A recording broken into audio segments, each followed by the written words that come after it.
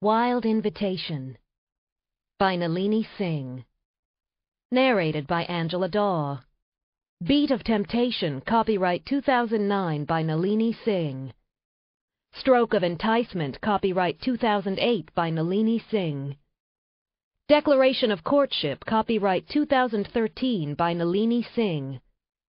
Texture of Intimacy, copyright 2013 by Nalini Singh this unabridged audiobook is recorded by arrangement with the Berkley Publishing Group, a member of Penguin Group USA Incorporated, and was produced in the year 2013 by Tantor Media Incorporated, which holds the copyright thereto. Beat of Temptation Happiness The Psy Council tried to outlaw Christmas once. It was in the year 2019 four long decades after the implementation of the Silence Protocol. The protocol itself arose out of the overwhelming incidents of insanity and serial killing in the Psy populace. Driven to the edge, the Psy made a choice. They conditioned their young to feel nothing, not jealousy, not rage, and certainly not joy at the thought of Christmas morning. So it was that by 2019 only ice ran in the veins of the Psy politicians who wanted to make Christmas illegal. Since the Psy race controlled government then as it does now, Law 5198, deletion of Christmas and associated holidays, was near certain to pass. There were a few minor hiccups. Some elderly Psy, those who had been too old at the inception of silence to allow for true conditioning, weren't certain they wanted the holiday outlawed. But the old ones were few, the last unwanted vestiges of an emotion-filled past the Psy preferred to forget.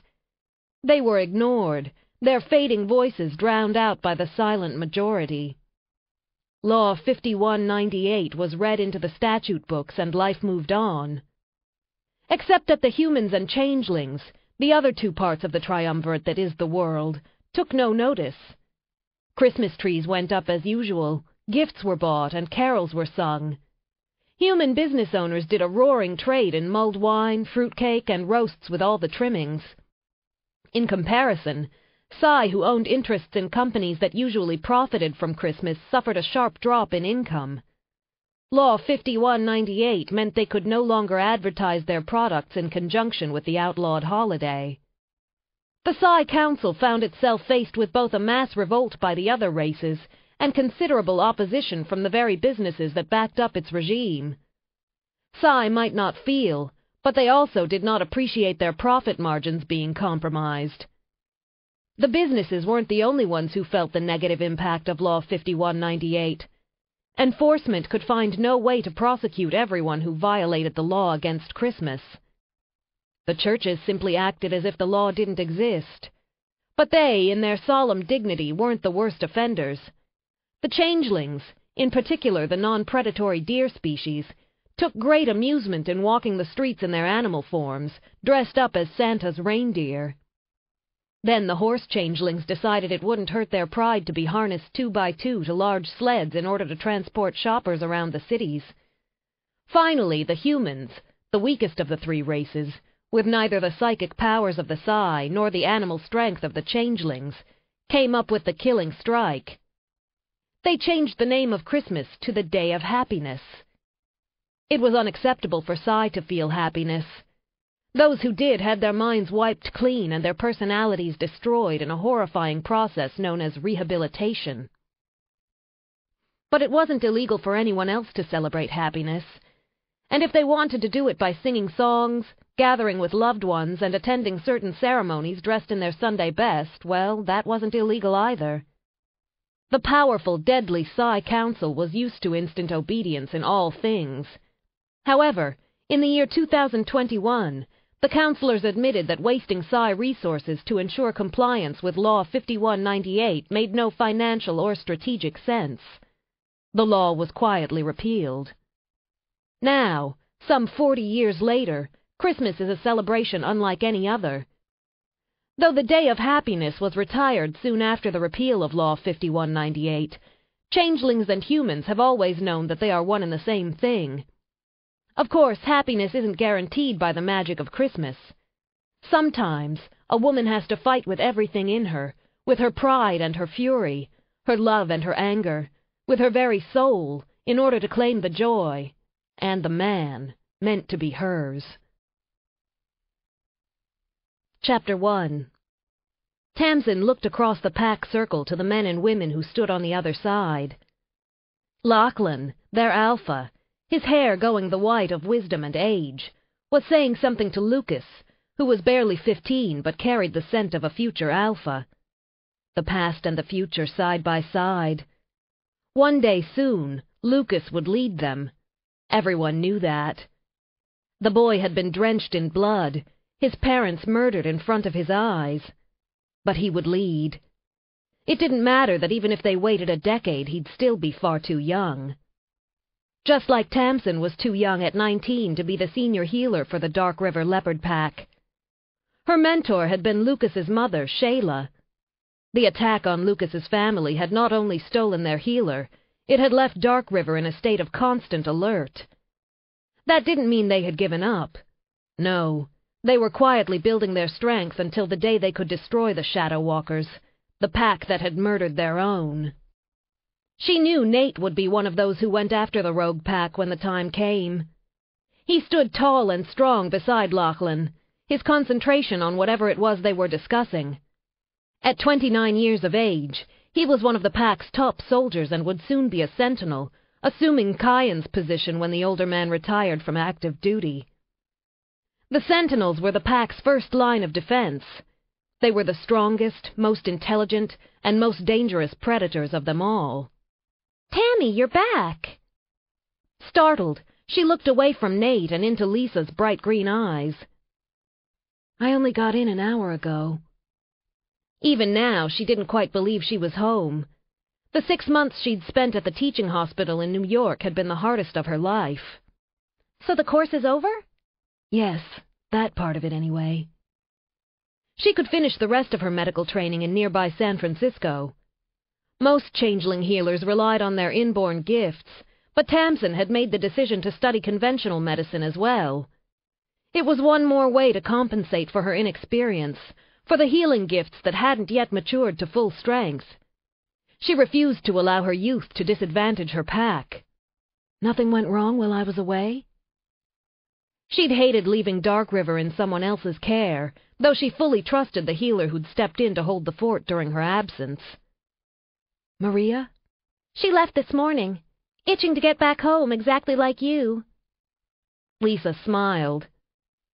It was nice of Maria's pack to lend her to us, and she was great, but damn, I'm glad to have you back. Tamsin returned her friend's fierce hug. I'm glad to be back. Lisa set her free. Go on. I know you're wanting to catch up with Nate. No. She glanced over her shoulder. He's busy with Lachlan. The man's your mate, girl. You can drag him away. Mate. The word made her heart skip as it had since the day she'd turned fifteen. That was when the mating instinct had awakened, when she'd realized she was one of the lucky ones. She'd been born into the same pack as her mate, had known him since childhood. It's not official yet. Lisa rolled her eyes. As if that matters. Everyone knows you two are meant for each other. Maybe, but they were nowhere near to consummating the relationship. Nate was determined she get the chance to explore her freedom before settling down. What she had never been able to make him see was that he was her freedom. She didn't want to be apart from him. But Nate was stronger than her, and at ten years her senior, he was used to giving orders and having them followed. I should freshen up, she said, dragging her eyes away from him a second time. I just dropped off my bags before coming here. Searching for him. All right, I'll see you after you've settled in. Lisa smiled. I have to go talk to Lachlan about something. Nodding goodbye, Tamsin began to move away from the large clearing ringed by trees that was the pack's outdoor meeting place. Nate had seen Tammy arrive, waited for her to come to him, and now she was walking away. Excuse me, he said to Lachlan, no longer caring about the discussion at hand. Some Psy named Salias King was apparently making what he thought were discreet inquiries about Dark River's territorial reach and ability to defend itself. Lachlan was fairly certain the man wanted to steal their land. This is important. Oh. The Dark River Alpha looked up and followed the path of Nate's gaze. His frown turned into a grin. No wonder you're distracted. Guess we won't be seeing you for a while. We'll have to track this idiot down ourselves. Good-natured laughter followed Nate out of the pack circle as he tracked his mate's scent through the trees. He caught her in under a minute. The second his palm clasped the back of her neck, she froze. Nathan. Her skin was delicate under his hand, and he was very aware of how easily he could damage her. With her hair swept up into a long tail, her neck appeared even more vulnerable. He rubbed his thumb over the softness of her. When did you get back? Around four. It was now five thirty and winter dark. Where have you been? The leopard who was his other half didn't like that she hadn't come to him first. She turned her head, eyes narrowed. It's not like you left a note as to your whereabouts. His beast calmed. She'd gone looking for him. Gentling his hold, he slid his hand to the side of her neck and pulled her to him. She came, but her body was stiff against his. What's the matter? Juanita was very happy to tell me where you were. He heard the jealousy. She's a friend and a fellow soldier. She was also your lover. The beast wanted to growl. Who told you that? I'm a decade younger than you, she retorted. Of course you've had women. I don't need anyone to paint me a sign. The jagged edge of anger turned his next words razor sharp. I haven't taken a lover since your fifteenth birthday. He was a healthy leopard male in his prime. Sexual hunger did not sit well with him, but neither did cheating on his mate. And if someone's telling you different, I'll tear out their throat. She blinked. No one's telling me different. Her voice was husky. But I don't like knowing you've had other women in your bed, that they've touched you, pleasured you. Her bluntness shocked him. Tamsin did not talk to him like that. What exactly did you do in New York? The possessive fury that hit him was close to feral, a harsh thing with claws and teeth. Her mouth dropped open. I don't believe this breaking his hold with a quick move of her head, a move he'd taught her. She faced him, hands on her hips. You think I would... She gave a little scream. You know what, if I had, whose fault would that be? He folded his arms to keep them from hauling her back against his chest and proving to his beast that she still belonged to him. Tamsin. No, I've had it up to here. She jerked the edge of her hand to below her chin. All the other females my age are taking lovers left, right, and center, and the only thing I get is frustration. Her raw need was simple truth. Newly mature females were very sexual, their scent intoxicating to the young males. Then there was the fact that the mating heat had shifted Tammy's natural hunger into higher gear. He could taste the woman musk of her, the lush ripeness just waiting to be bitten into. It was an exhilarating blend, and one he alone had the right to crave. Even the idea of any other male lusting after her pushed his temperature into explosive range. If I take you, he said quietly, it'll be for life. I know that, and I accept it. I need to belong to you, in every way. His cock wanted to take her up on it. But she was nineteen.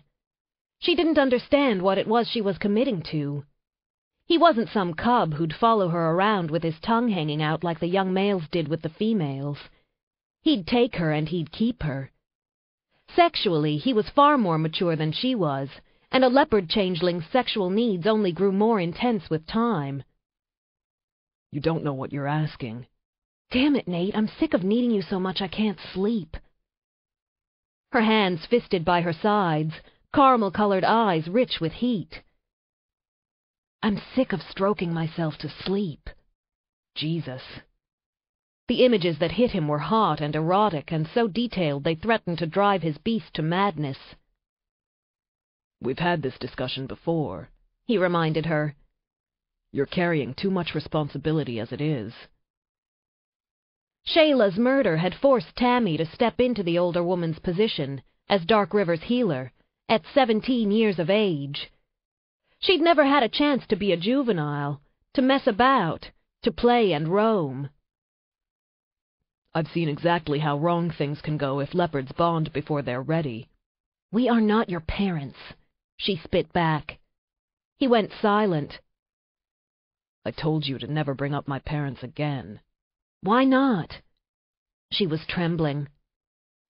They're the reason you're being so stupid. Just because your mother was miserable after deciding to take a permanent partner at age 18 doesn't mean I will be. His mother had been more than miserable. She committed suicide. If not in truth, then in effect. Her drinking had escalated to such an extent that even her tough changeling physiology hadn't been able to repair the damage. We are not your parents, Tamsin repeated, her voice breaking on the last word. You're my mate, and I'm yours. Your mother and father didn't have that connection. No, his parents had fallen in love the old-fashioned way, without being driven by the mating instincts of the leopard. It happened like that sometimes. Though mating wasn't uncommon, not every changeling found his or her true mate, the one with whom they could bond on a level that was almost psychic. Mating will demand more from you than a non-bond relationship ever would, he told her, cognizant of the terrifying animal fury of his hunger for her. I don't want you walking into that before you're ready. And you're the one who decides if and when I'm ready? I'm older and more experienced. She had years to go before she caught up. She seemed to be gritting her teeth. Fine. Enjoy yourself in your perfect little world where everything goes according to your plans. Don't blame me if I get sick of waiting for you. She turned and began to stalk through the trees. Tamsin. He used the tone of voice that made even the rowdiest juvenile stop and pay attention. She kept walking. What the hell? Striding after her, he caught up just in time to see her clothes disintegrate off her body as she shifted into leopard form. He froze, stunned as always by the beauty of her. Her pelt was glossy, the dark rosettes defined luxuriantly against the gold. Suddenly, she looked over her shoulder and gave him a look that could only be described as haughty. Her eyes were green gold, not caramel in this form, but they were very definitely all female. He growled at the implied challenge. She snapped her teeth in response and took off. He almost went after her. His claws were already out by the time he brought himself back under control. If he ran her down in his current state, well, she wouldn't be complaining about stroking herself to sleep again.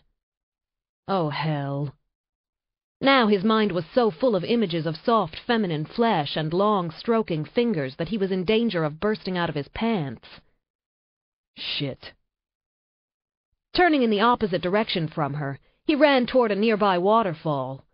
An ice-cold bath was exactly what he needed to knock some sense into his head. He wondered if she moaned when she brought herself to orgasm. He wondered if she moaned when she brought herself to orgasm. Chapter 2 Tamsin shifted back into human form near her parents' home. They lived fairly close to the pack circle, and it was where she was staying for the time being, her life in limbo. She should have been living with Nate by now. Eyes stinging at the reminder of his rejection, she went to retrieve some clothes she'd hidden for just such contingencies. Nudity was no big deal in the pack, but she was already going to be a crybaby. At least she could be a clothed crybaby. Dressed, she walked to the front door. Her mother opened it before she could knock. With her dark hair and pale brown eyes, Sadie Maher was an older, smaller version of Tamsin. It was Tamsin's father who had given his daughter her height. Her mother took one look at her face and opened her arms. Come here, my darling. Sobbing, Tamsin went into her mother's embrace. I don't know what to do, Mom, she said what felt like hours later. She was lying on the sofa, her head in her mother's lap and her legs curled up on the cushions. This need I have for him, it's clawing me to pieces, but... but he doesn't seem to feel the same. That knowledge crushed her, made her feel as if she were bleeding inside.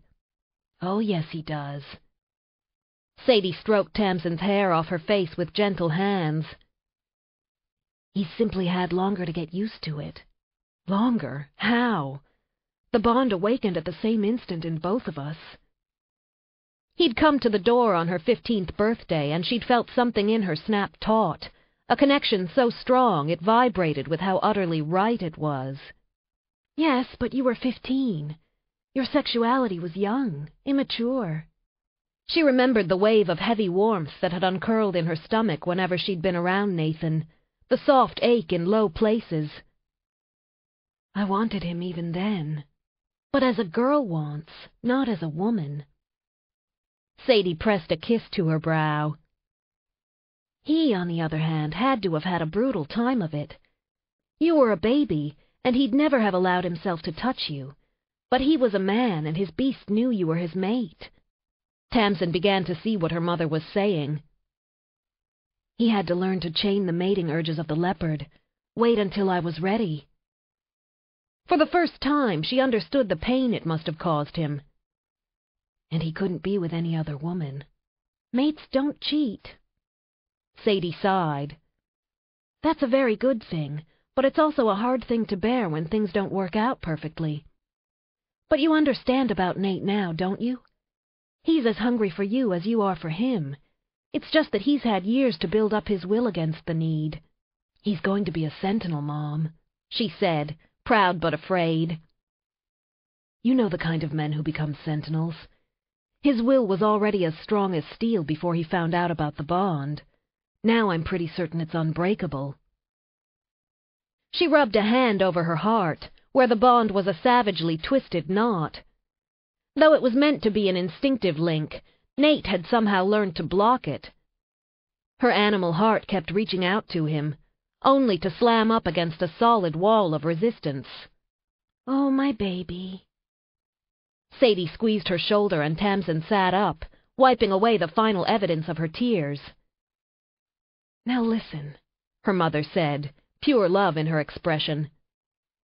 The man's will might be unbreakable for some, but not for you. You're his mate. You have a direct line to his soul. But he won't listen. He's made up his mind that we're going to wait and wait and wait and... She shook her head, shoulders hunching in defeat. I know he's thinking in terms of years, not months. A wait that long would drive her insane. She wasn't being overly dramatic. The lack of tactile contact between her and Nate, the denial of what their beasts craved, it physically hurt. And it's not like I'm some sexy little thing that can seduce him. It was out before she could feel embarrassed. You're beautiful. Sadie's voice was full of maternal pride. You have courage and strength and such spirit. Tamsin didn't have the heart to tell her mom that while those qualities might be nice, they didn't exactly make her a knockout. Her hands were practical healer's hands, her hair a plain brown, and her eyes, well, her eyes were okay.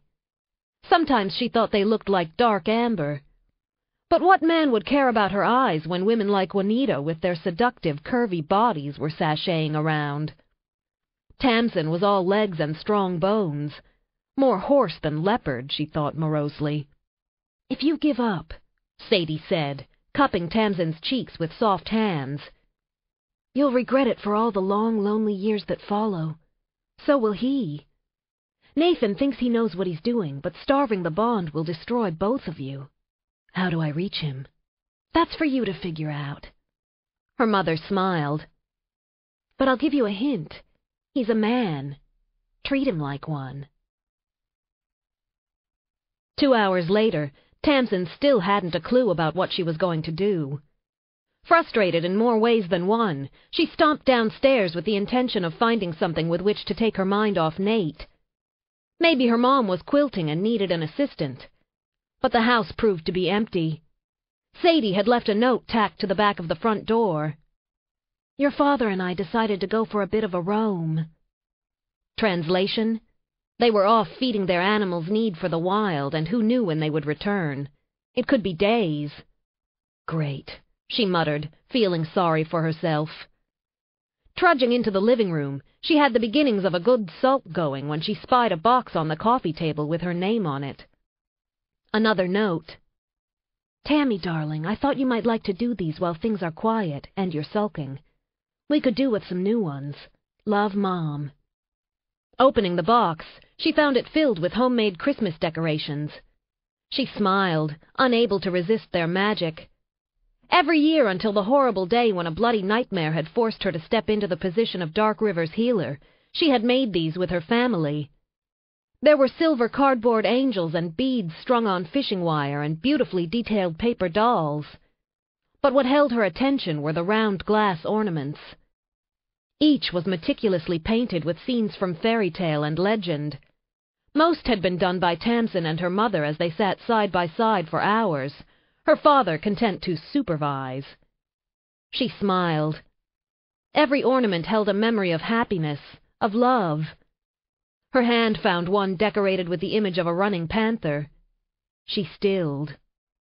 Healing's not just about bones and cuts, Tammy, sweetheart. Tears pricked her eyes at the memory of Shayla's patient voice. Lucas's mother had been a black panther like her son. She had also been Tamsin's teacher, her friend, a friend whose advice and guidance Tamsin missed desperately. But today, in this moment, it felt as if Shayla stood right beside her, telling her the truths she needed to hear. This would be the second Christmas since the attack. No one had been in the mood to celebrate the first, but perhaps it was time to heal her family, her pack. Even if she couldn't heal herself. Her eyes narrowed at the self-pitying thought. Snap out of it, she ordered herself. Sulking be damned. She would not let Nate's idiocy ruin this Christmas for her, and she was going to make sure he knew it. Ruin this Christmas for her, and she was going. Chapter 3 Salias King was a TP Psy, a telepath with a Gradient 8 ability. That meant he was strong enough to use mind control should he ever decide to. Salias had done so before. Politics didn't allow for such niceties as high moral principles. His current plans, too, would have been far easier to implement had he been able to utilize his telepathic abilities to coerce and persuade. Unfortunately, changelings had rock-solid natural shields. He might be able to turn one of them, and that with considerable effort, but he couldn't control the entire Dark River pack. However, that shouldn't be necessary. What, sir? His aide and son, Kinshasa Losa, asked. Nothing of note. Salias turned. Do you have the details? Yes. Kinshasa passed them over. Despite his youth, the eighteen-year-old was extremely efficient. Salias had made a good investment when he'd entered into a reproduction contract with the Gradient 7 TP Psy who was Kinshasa's mother. Both Kinshasa and the second child from the contract were high-gradient minds, powerful in their respective abilities. Give me a précis. Kinshasa spoke from memory, his dark skin unlined. The land in question is perfect for your needs. You can locate a small com station and office there, then use it as a base for further expansion. The leopard pack? Salias didn't trust Kinshasa. He trusted no one, blood relative or not. But the boy was undoubtedly good at research. Will they pose a problem? No, Kinshasa said, his tone holding the cool emptiness of silence. Dark River is a small group with no real presence. If we were going up against the Snow Dancer wolves, it would be a different story. They're somewhat more aggressive. That was why Salias hadn't looked into acquiring Wolfland. Begin preparations for development. The leopards, animals shackled by the choke of emotion, were clearly no threat. Yes, sir.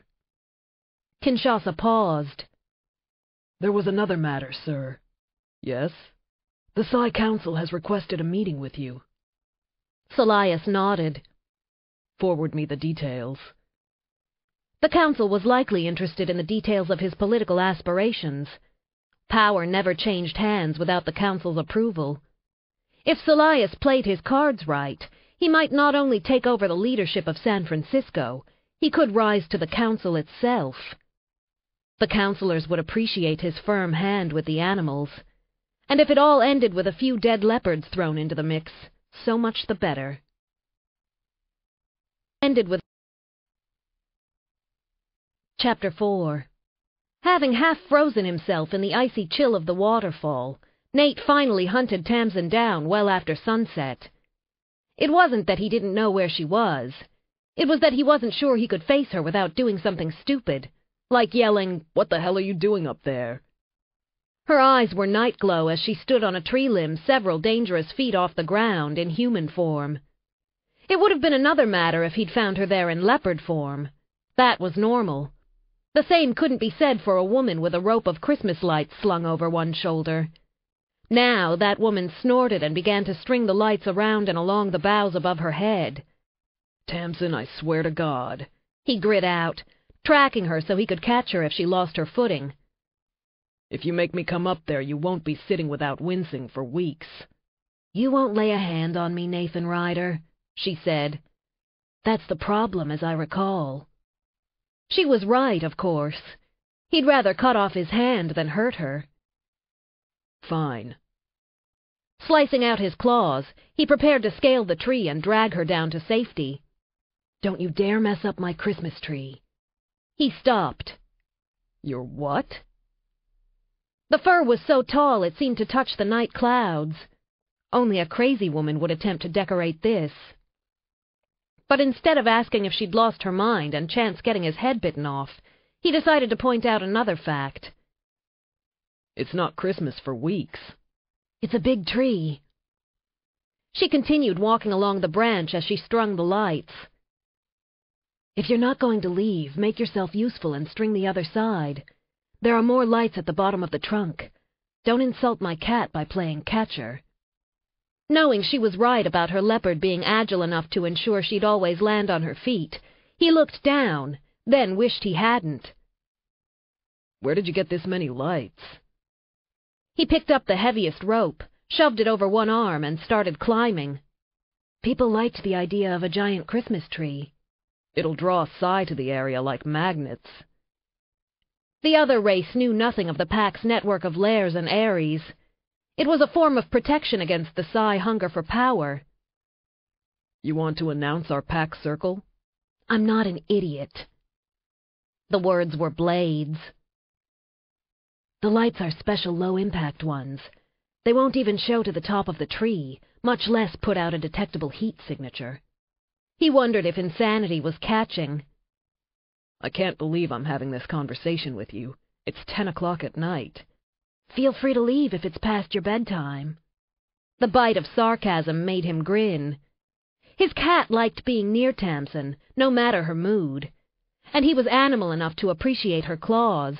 No leopard wanted a weak mate. So, what are you planning to do for an encore? A parade of giant jack-o'-lanterns? Maybe we can use them to scare off the wolves? Good idea. He could hear her smirk. Shouldn't you be out doing important sentinel stuff? I'm not officially a sentinel yet. Though he was already being allocated most of Kyan's work as the other man concentrated on his role as advisor to Lachlan and trainer to Lucas. I have the night off. And you're here? What, Juanita was busy? He let her hear the angry rumble of his growl. Are you really accusing me of cheating? Not possible to cheat on something that doesn't exist. Tamsin, he began, intending to tear into her. Then his beast suddenly realized something. You're still jealous of a relationship that was over years ago.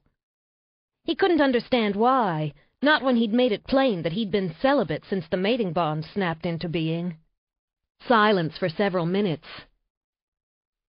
It hurts me to know a woman who's been allowed full skin privileges with you, while I'm not even worth a simple kiss. He froze at the amount of pain in that single statement. Don't you ever compare yourself to any other woman, he said, his beast raging at the mere idea. The instant he'd realized she'd been born for him, it had blinded him to anyone else. She didn't answer. Tammy. I don't want to talk any more. He was certain he heard tears in her voice. It shook him. His strong, beautiful mate never cried.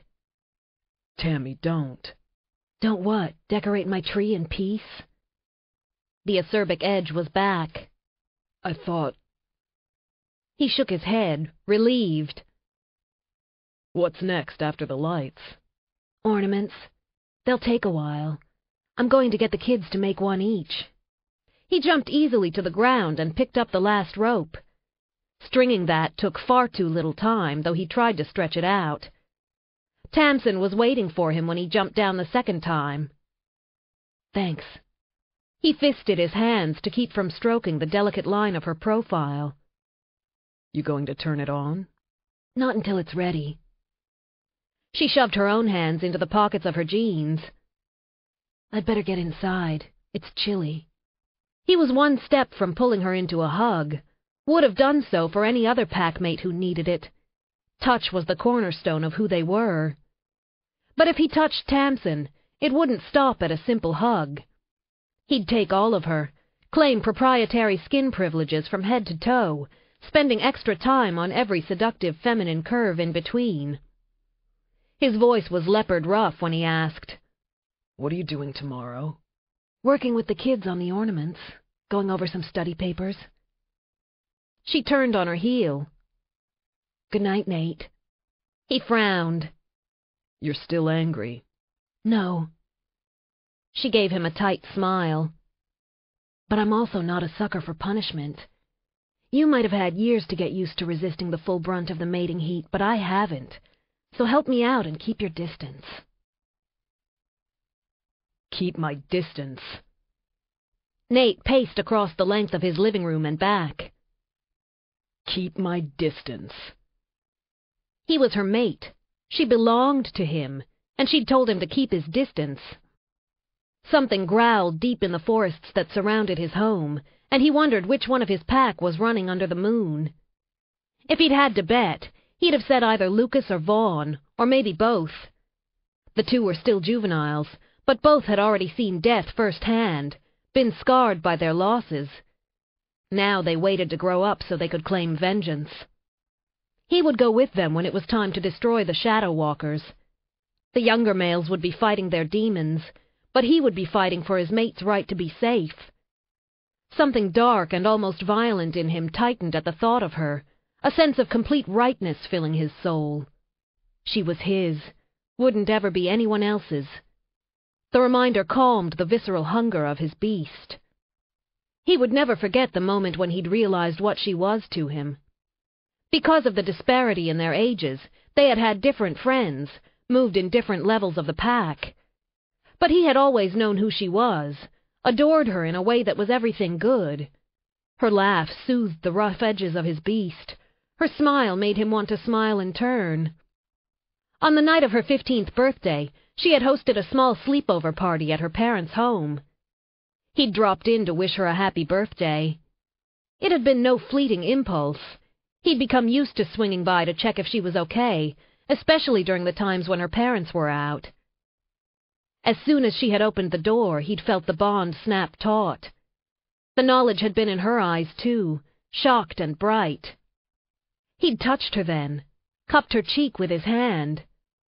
She had leaned into him, soft and welcoming and everything he had ever wanted. He'd known that at that moment he could ask anything of her and she'd give it to him. That was what had made him draw back. Not until you're ready, he'd said, ending the contact. It was a promise he refused to break. Tamsin thought he was being cruel, she hadn't seen what he had with his parents. His mother had been too young, his father too demanding. Within a decade they had destroyed each other and themselves. The idea of doing that to Tamsin was his worst nightmare. Because he knew he was too much like his father, he would not be an easy man to mate with.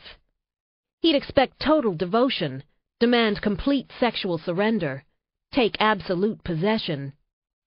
Tonight, his body hungered for her with a fury that was more animal than man. The cat had wanted her from the first. To the leopard, she'd smelled mature at fifteen, but the man had known she was nowhere near ready. Now, now he could have her, if he was willing to look into her eyes for the rest of his life and know he'd stolen what little freedom she could have had. No. He would not do that to her. She might be frustrated and annoyed with him, but she'd forgive him. It was what mates did. Tamsin was never going to forgive Nate for putting her through this. I can't stand it. Her skin was so sensitive even the sheets felt abrasive. The flesh between her legs was swollen with need, and there was only one man she wanted to rub against, only one thing she wanted to do.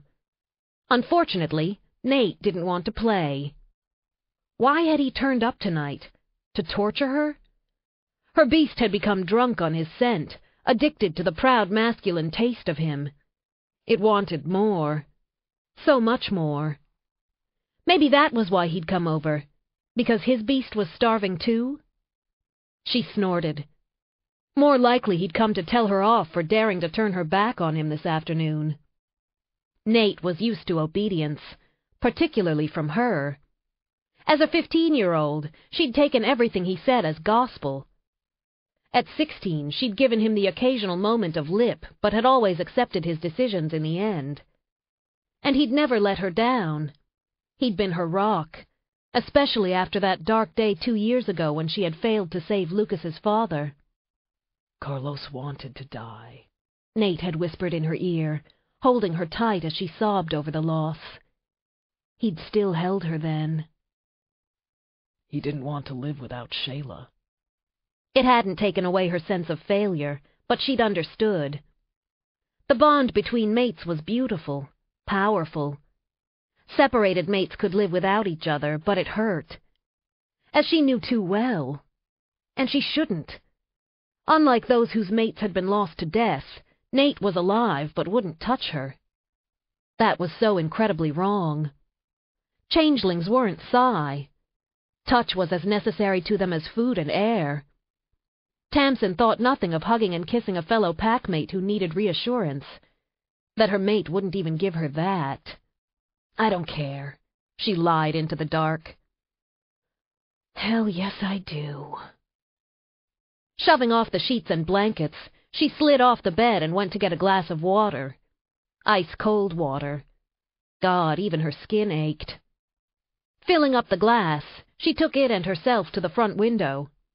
Her plan, to distract herself by admiring her tree, disappeared the second she saw the leopard asleep on one of the branches.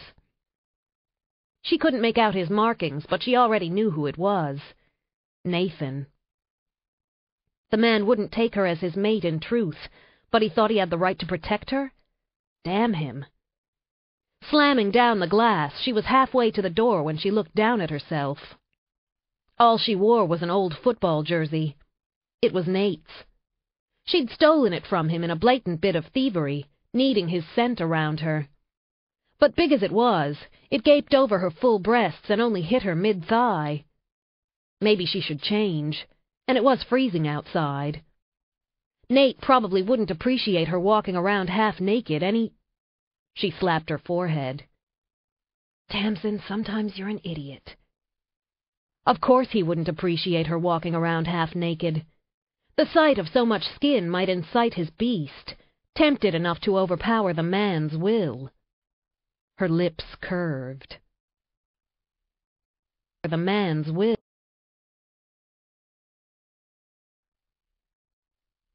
Chapter 5 Shoving her feet into a pair of fluffy slippers, she stamped outside and to the tree, knowing he'd have woken the second she opened the door. Nathan, you get out of here right now. She hugged her arms around herself, well aware that the move plumped up her breasts, creating a deep cleavage. The leopard growled at her, its green eyes dangerously bright. Don't you growl at me, she said, and her breath turned the air to mist. You don't get to pick and choose which parts of the mating deal you want. It's all or nothing. Go away. He padded along the tree limb and leaped to the ground by her feet, a stunning creature she could stroke for hours. Then he butted at her legs, urging her inside the house. The touch of his fur against her skin made her shiver. I'm not leaving until you're gone. She'd meant to tease him, but already her own leopard was scraping at the insides of her skin, so darkly needy it scared her.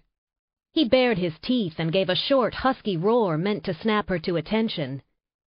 His eyes told her to get her little butt back inside or he'd do it for her. She hoped he would, because if he shifted now, he'd be naked. Skin-to-skin contact at last. Her thighs trembled, but she somehow found the strength to stamp her foot and point away from her home. Out. Leave. He began walking toward the house. She frowned, wondering what he was up to. He got to the door and looked over his shoulder. She wasn't going to fall for that. Then he walked inside. Her eyes wide, she hot-footed it inside, closing the door behind her. The leopard was sitting in front of the currently unlit las fire, the artificial heating system designed to resemble a live blaze, but one that had zero chance of getting out of control. He glanced at her, his eyes night-glow in the darkness. Good idea, she said, half frozen. Kicking off the furry slippers, she turned on the las fire.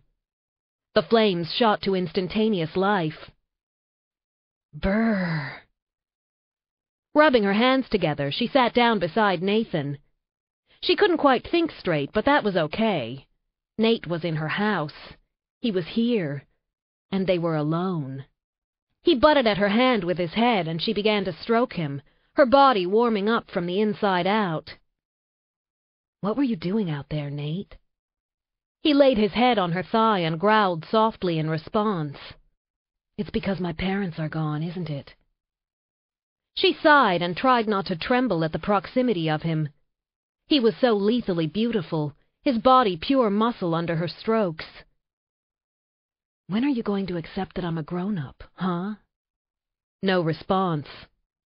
The steady rhythm of his breathing told her he'd fallen asleep. She couldn't bear to wake him. Tears pricked her eyes.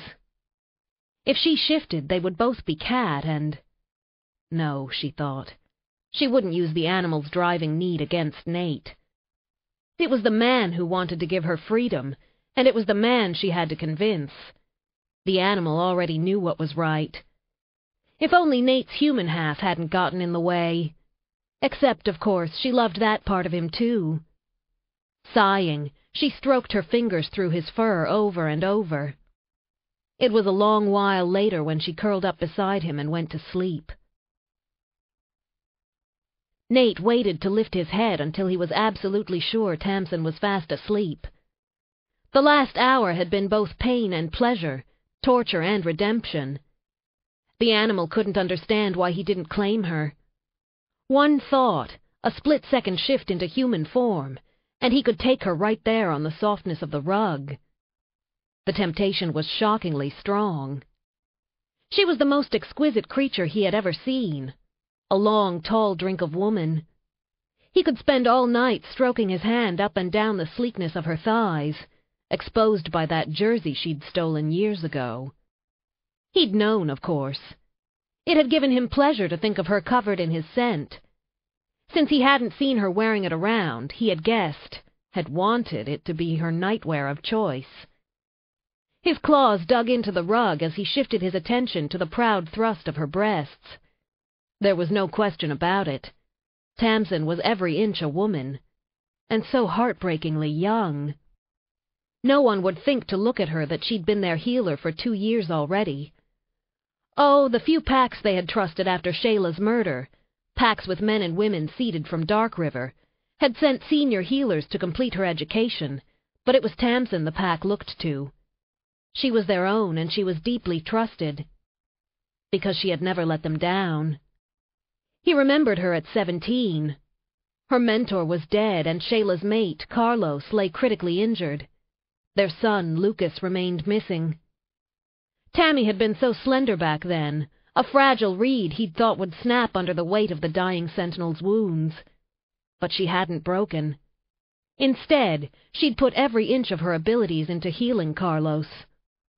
She hadn't been able to save his life, but she had given him the strength to whisper his final words, ones that told them Lucas was still alive. Tammy had been completely drained by the effort to save Carlos, but when they had rescued a badly injured Lucas, she had somehow found impossibly more to give, and she'd kept doing it for weeks. She had slept only when Nate forced her to, worried she'd collapse under the strain. Even then, she would crawl out of bed after a few hours at most. Finally, Nate had had to half-kidnap her. He'd held her in his lap and told her to sleep. And she had, curled up trustingly in his arms. The girl who had been that slender reed was gone. She'd grown into a woman of courage and beauty, but one who had never been given the chance to be a juvenile. Leopards valued their freedom to roam. Many left the pack and came back after spending time in the wild. He, too, had left Dark River for several years in his late teens. Tammy had never had that choice, her wings clipped at fifteen. Backing away from the lush temptation of her, he dragged an Afghan off the couch using his teeth and pulled it over her. It would have been easier in his human form, but he didn't trust his willpower that much.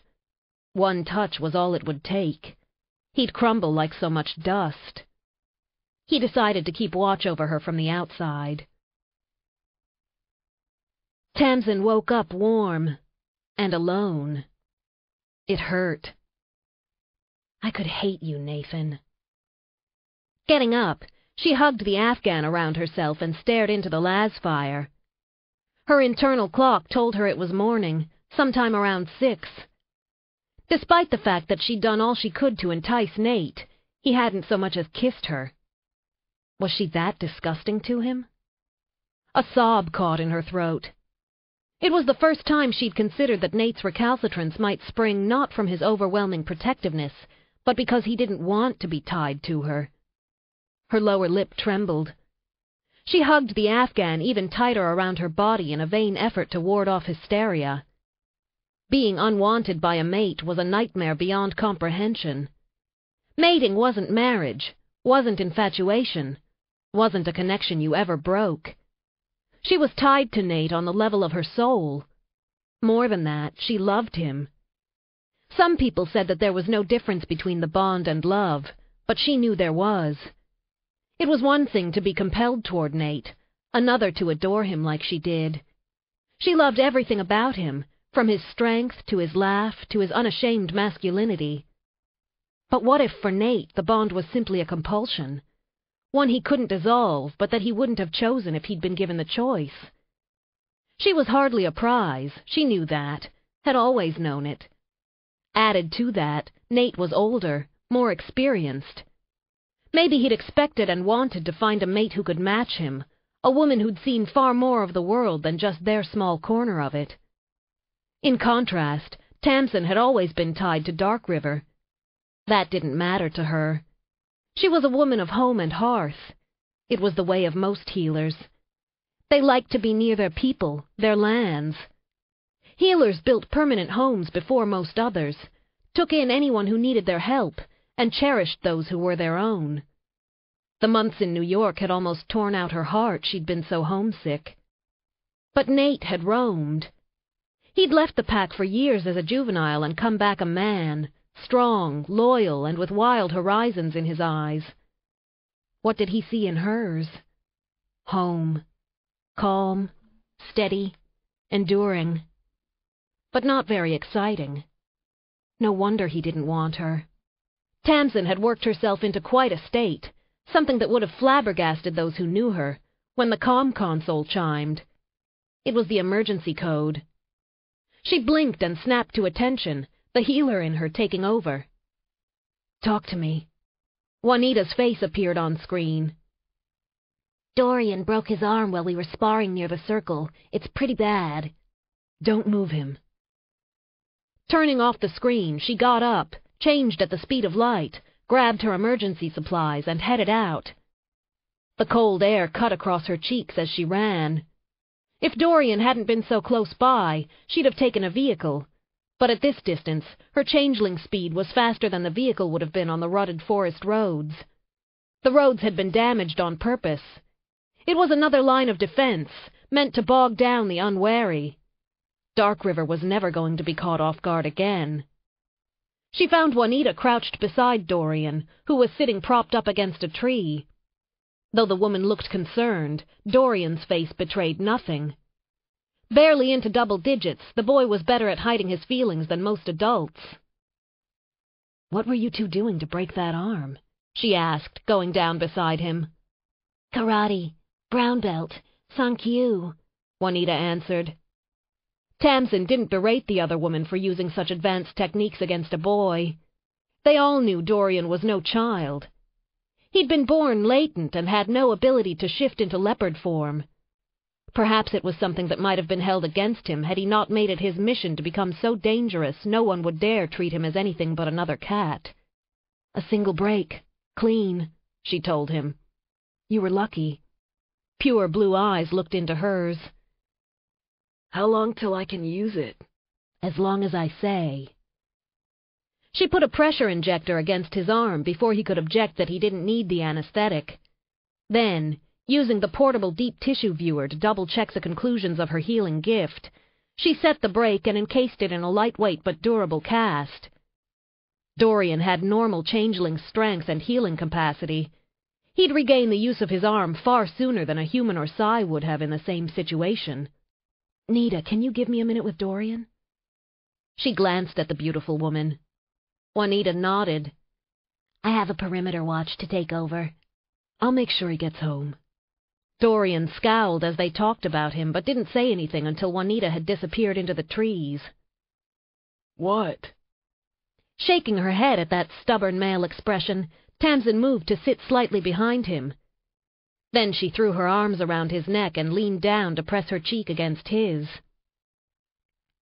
Sankyu, that's the third level, isn't it? With the dominant males, or with the young ones who would one day be dominant, you had to tread carefully. Demanding would get her nothing from Dorian. He softened a little. Yep. I'm going for black next month. Impressive. When I left for New York, you were still on the first level of brown. He let her tug him further into her embrace. Touch was at the heart of a healthy pack. It was what bound them together, what gave them their strength.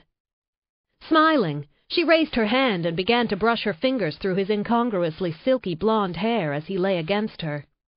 I'm going to be past Juanita's level soon. It was a small boast, and it was perfectly normal. Whatever had happened to break his arm, it hadn't bruised his pride too much. She grinned. Then who are you going to beat up? He actually smiled. You want I should do Nate for you? It seemed the whole pack knew how things were between her and Nathan. Brat. Yeah, but you like me.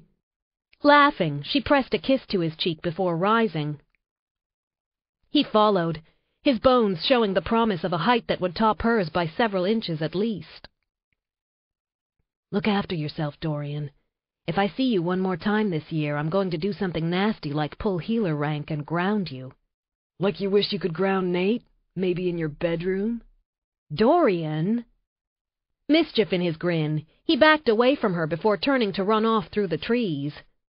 She kept her smile hidden until he was gone. Then she bent down and began to gather up her supplies and equipment. She was pleased. Her medical training had come in very handy today. Otherwise, she'd have used up healing energy to no useful purpose. What she did came from inside her. She had to conserve her strength for the worst injuries, as had happened with Carlos.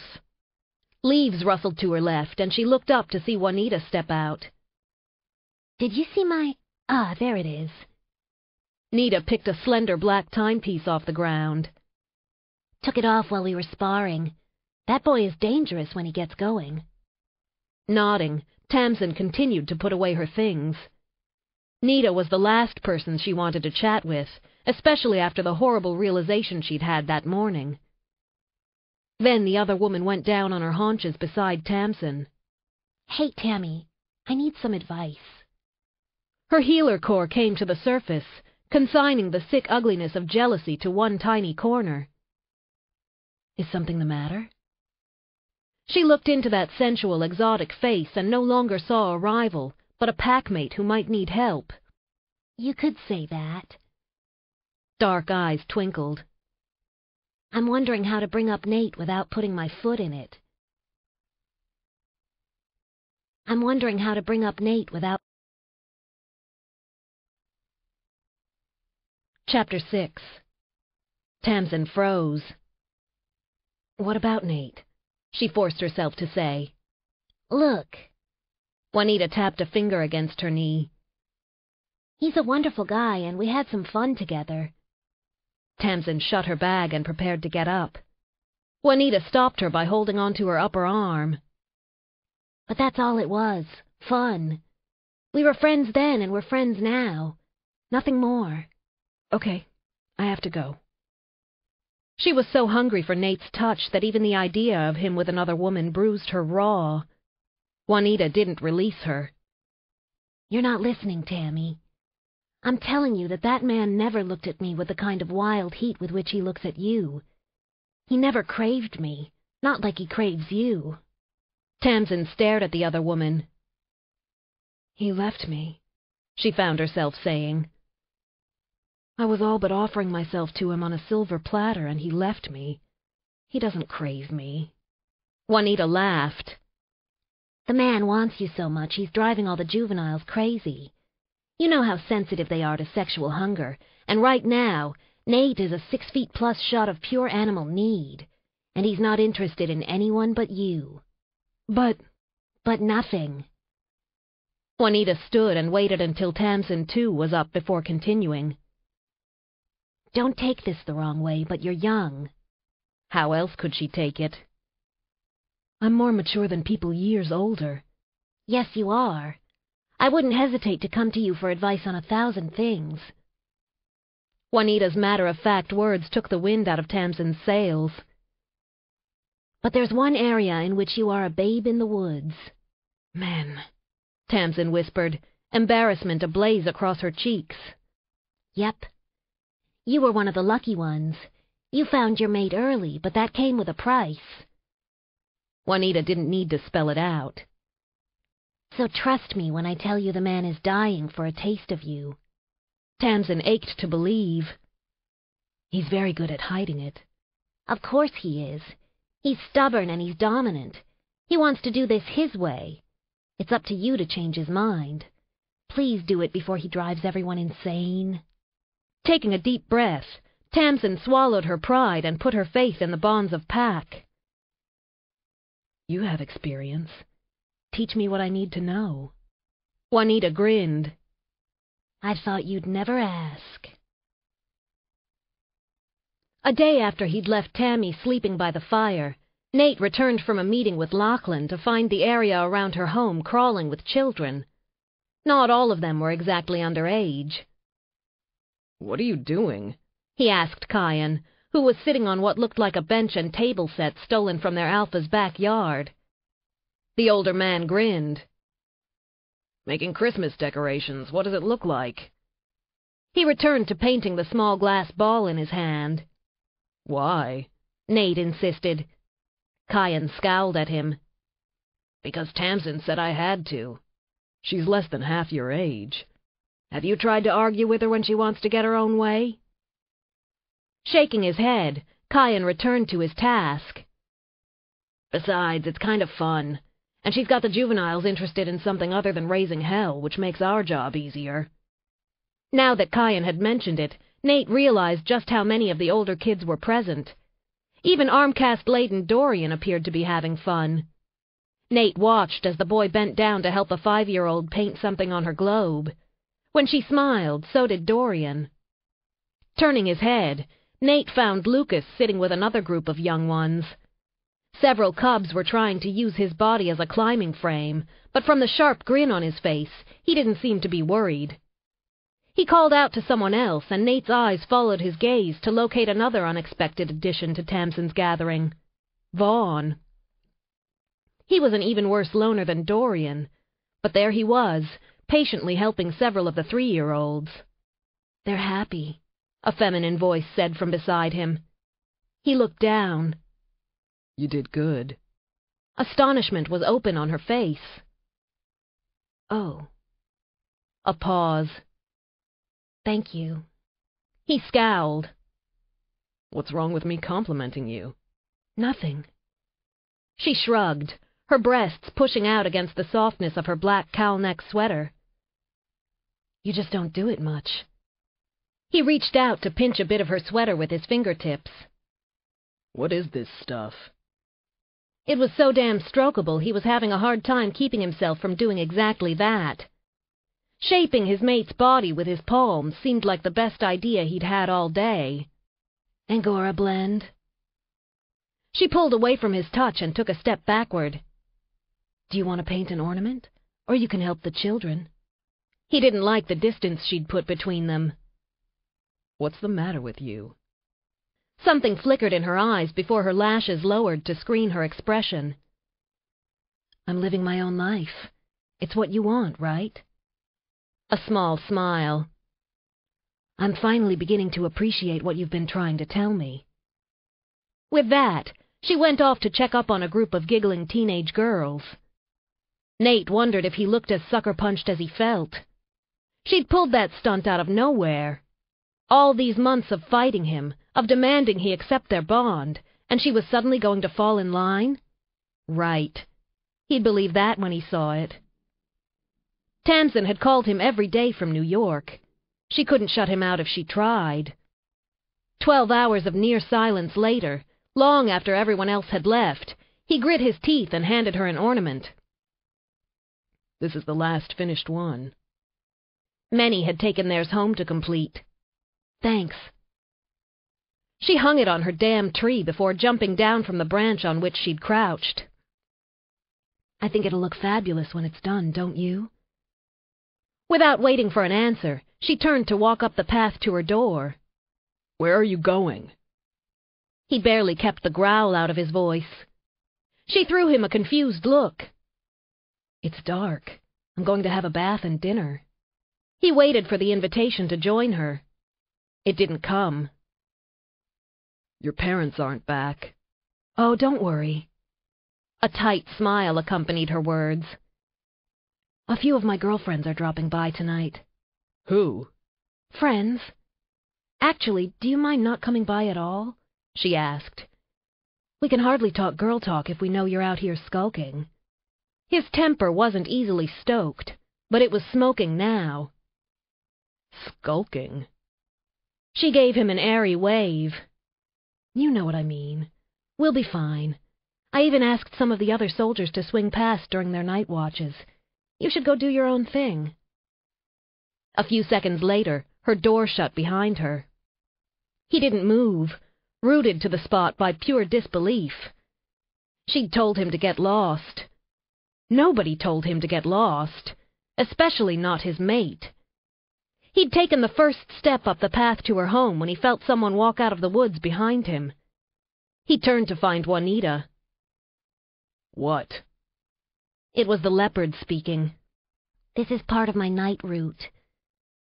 She gave him a curious look. What are you doing here? What kind of idiotic question was that?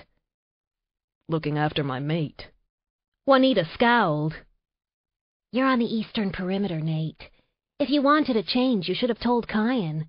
We'll have a gap there otherwise, and you know we can't afford to, especially not with Salias Kingsmen sniffing around. He knew she was right. Kyan factors mates into the watch assignments. Yeah, but you haven't claimed Tammy. He probably thought you wanted some space from her. You're getting more and more irritable. Her tone was blunt. Look, I'd take the Eastern for you, but I'm pulling a double anyway, and I'd prefer to stay close to home. There was nothing he could say to that. He was one of the most experienced soldiers in the pack, and as such, he had a job to do. Don't let anything happen to her. It was half warning, half threat. Juanita's response was a raised eyebrow. Tammy's no cub. She can handle herself. Tamsin put out the snacks with trembling hands. She couldn't believe she'd ignored Nate all day. The act had stretched her nerves to the screaming point, the compulsion to speak to him as powerful and as intrinsic as her heartbeat. She was obsessing over their parting words when the soft buzz of the doorbell sliced her thoughts in half. Taking a deep breath, she opened the door. Oh, it's you. Juanita grinned. I told you it would work. He's furious. She looked over the other woman's shoulder, hoping to see Nate. I thought he was going to march up here and demand I... Precisely. Juanita put her hands on her hips and shook her head. He's used to demanding something from you and getting it. Isn't that what mates do? Sure, but he's being an ass about it. He's not exactly meeting your demands, is he? Tamsin scowled on Nate's behalf. You don't... Don't you dare defend him, Juanita ordered. And don't you back down, either. You're just giving him a taste of his own medicine. This is what he's been doing to you for over a year. Let him see how he likes it. It made sense. But Tamsin wasn't a soldier to think of love like strategy. Her heart was that of a healer, gentle and easy to forgive. He hates it. Good. The other woman grinned. If you don't allow him access to you any time he wants to feed the animal's need to be close to you, he's going to get desperate sooner rather than later. Then he'll jump you and bang, we'll all live happily ever after. Tamsin nodded. She liked the idea of being jumped by a sexually hungry Nate. If he doesn't do it soon, I might attack him myself. Her sensitivity to his proximity was getting worse, the mere sound of his voice enough to melt her to damp readiness.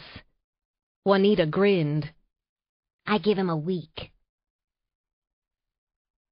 Two nights later, Tamsin decided Juanita was a genius. Nate was scowling at her from across the pack circle, such violent need in those midnight blue eyes that she could feel her stomach twist itself into a thousand knots.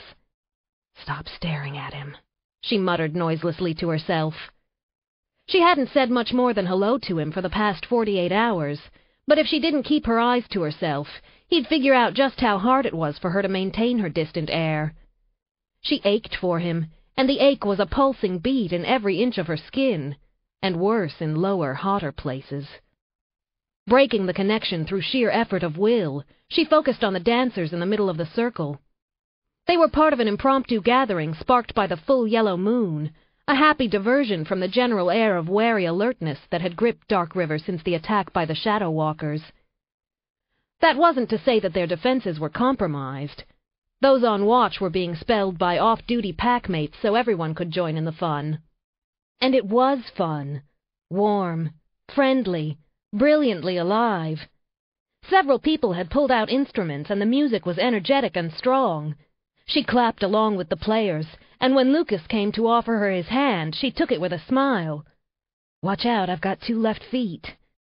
He grinned, the savage markings on one side of his face, markings he'd been born with, making him look more panther than boy. Good thing I don't scare easy, Laughing, she let him swirl her around in an energetic dance that required enough of her concentration that she almost stopped thinking about Nate. When the tall juvenile snapped her back into his arms, she was breathless. You're in a good mood, she said, glad to see him happy for once. There was darkness in Lucas, such darkness. She knew it would be there until the day he took vengeance on those who had stolen his family from him. He was four years younger than her, but looking into those eyes, she saw not a child, but a man. Lucas would one day be an alpha of incredible strength, of that she had no doubt. He held her closer, touching her with the easy friendliness of Pack. She rested her cheek against his shoulder and swayed to the gentler beat that had replaced the pounding dance music. So? So I thought you needed to be held. The words were blunt, the tone affectionate. Thank you. I did. There was no need to lie. Not with Pack. Dorian said you don't want us to beat some sense into Nate. He sighed as if in disappointment. Are you sure? She laughed at his teasing. I like him in one piece, but thanks for the offer. Do you want to dance with him? 'Cause he's heading this way. Do you want to dance with him? 'Cause he's Chapter 7 She smelled the rich earthiness of Nathan's distinctive scent before she could answer. It hit her system like a drug. An instant later, the heavy weight of his hand dropped onto her hip. Luke, go find a girl your own age. Lucas released her. I think I like sexy older women. Why don't I keep Tammy and you find someone else? Nate's growl was met with unrepentant laughter as Lucas threw Tammy a wink and walked away. She paid little attention to the exchange, her entire body focused on Nate as he placed both his hands low on her hips and pulled her back against his chest. What the hell are you wearing? He spoke against her ear, his breath hot. It was an effort to think. Jeans and a sweater? Is that a crime? The sweater is orange and anyone can see down your cleavage. She forced herself to laugh. Nate, the V isn't that deep and the color is soft peach, not orange. It went beautifully with her hair and eyes, throwing up golden highlights she'd never have believed possible. It's fucking painted on your body, just like your jeans. Watch your mouth, Nathan Ryder. Firming up her tone, she put her hands over his and began to sway against him. It wasn't a calculated act. Her body simply craved the contact. I'm nineteen years old. This is what women my age wear. His breath seemed to catch for an instant. You don't. No, she didn't. It had always seemed to her that she shouldn't aggravate the situation between them by being deliberately sexual. But tonight, she'd followed Juanita's advice again and gone wild. The jeans, bought on a whim in New York, shaped her butt, and from the good-natured whistles she'd inspired in male packmates, it wasn't a bad butt. As for the long-forgotten sweater, baggy when she'd been a gangly thirteen, it was made of a soft, strokable material that did feel painted on over her now womanly figure. That was the point. It was meant to make it hotly clear to Nate that she was a sexual young female, not a nun happy to wait for him to make up his mind. I decided it was time to change my personal style. She moved against him again, exquisitely aware of the unforgiving ridge of his erection. Have some fun before we settle down, exactly like you wanted. Stop that. But he didn't do anything to halt her subtle erotic movements. This kind of fun isn't good for the blood pressure of the other men. He pulled her even closer. They know I'm yours, she murmured, feeling her skin flush. Only yours. Then why are you dressed like an invitation? For you, you idiot, she wanted to say. I wanted to feel sexy. She shrugged. I haven't had much of a chance to explore that side of me. That, at least, was true. Between Nate's pig-headedness and her responsibilities, she hadn't had much play in her life. She did so want to play with Nate, silly, intimate, affectionate games. His hands tightened. And what are you going to do after getting yourself all heated up like this? It was a half-growled question, but she knew him well enough to know that that roughness was an indication of need, not anger. She tilted her head, looking up at him as he looked down. I bought a friend. He seemed to choke for a second. A friend? Uh-huh. He vibrates. It was a whisper meant to carry to his ears alone. I think I'll try him out tonight. His fingers were pressing down so hard he was probably going to leave bruises. She didn't care. Not when he was burning her up with the heat in his eyes. Don't. Raising her arms, she linked them behind his neck. Why not? Your first time shouldn't be with that. She shrugged. I'm getting older, Nathan. I have needs. Dark, clawing needs. Needs only he could fulfill. Promise me you won't use that stupid toy.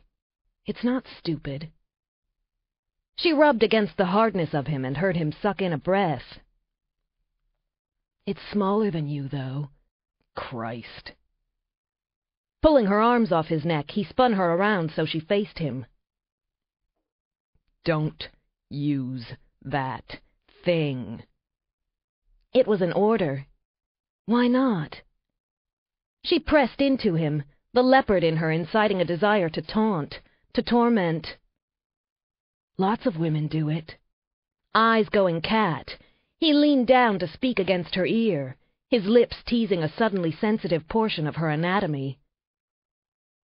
If you promise not to use it on yourself tonight, he whispered, I'll use it on you.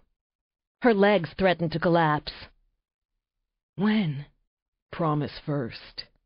She was weak, so weak where he was concerned. I promise I won't use it tonight. He nipped at the shell of her ear, and it was then that she realized he'd danced them to the farthest edge of the pack circle, well away from the reach of the temporary lights. She whimpered and held on. Nate. Shh. It won't be that long, baby. His hand stroked over her back, a rigid inflexibility to his body that hadn't been there before. You need a little more time. A nauseous feeling twisted through her. Nate, you said you'd... When the time is right. There it was again, that tense restraint, as if with her surrender he had found control. Anger and pain mixed a caustic brew inside her. Well, she said, wrenching away from him. I only promised not to use it tonight. Tamsin. And, she continued, I'm not going to fall for that dirty trick again. She began backing into the circle. I'm sick of being teased and left wanting. Tomorrow night I'm taking care of business. Taking care of business. Nate glared into his morning coffee and then at the duty roster he'd just received from Kyan. Punching in the Sentinel's code on the com console, he waited for Kyan's face to appear. What the hell are you on? This roster is a joke. He was so pissed he consigned seniority and rank to Hades. Kyan blinked. I heard you wanted to be on the perimeter, away from Tammy. I don't recall asking for that particular favor. The other man winced at his tone. You do make a point of avoiding her whenever she comes after you. He frowned. Though she seems to have stopped doing that lately. That observation made Nate's incisors threaten to erupt. The leopard was not happy with Tamsin right now. Neither was the man. They both wanted to bite, to dominate, to mark. Switch me with Juanita. You sure? Kyan scowled. You're not exactly in a good mood. Do you want to be around Tammy? It was an insult, as if he'd ever hurt her. If I had wanted advice, I'd have asked for it. Switch. Fine. Kyan threw up his hands. I'll tell Nita. And mind your own damn business from now on. Turning off the com, he finished his coffee and headed out. He was hungry, but he figured Tammy would have something. She was the best cook in Dark River. His new watch area was in the immediate vicinity of the pack circle and included Tammy's home among a few others. On his first pass, it appeared she was still asleep, but he caught the sharp freshness of tea leaves on the second pass. Since he'd remained in human form, it was easy to walk up to her back door and knock. He knew she had to have scented him, but she peered out suspiciously from the kitchen window before opening the door with a scowl. What are you doing here? Okay, so she was still mad. His cock throbbed at the memory of the events that had led to their fight. He wanted to put his hands on the sweet curves of her bottom, crush her to him and kiss the hell out of her bad mood.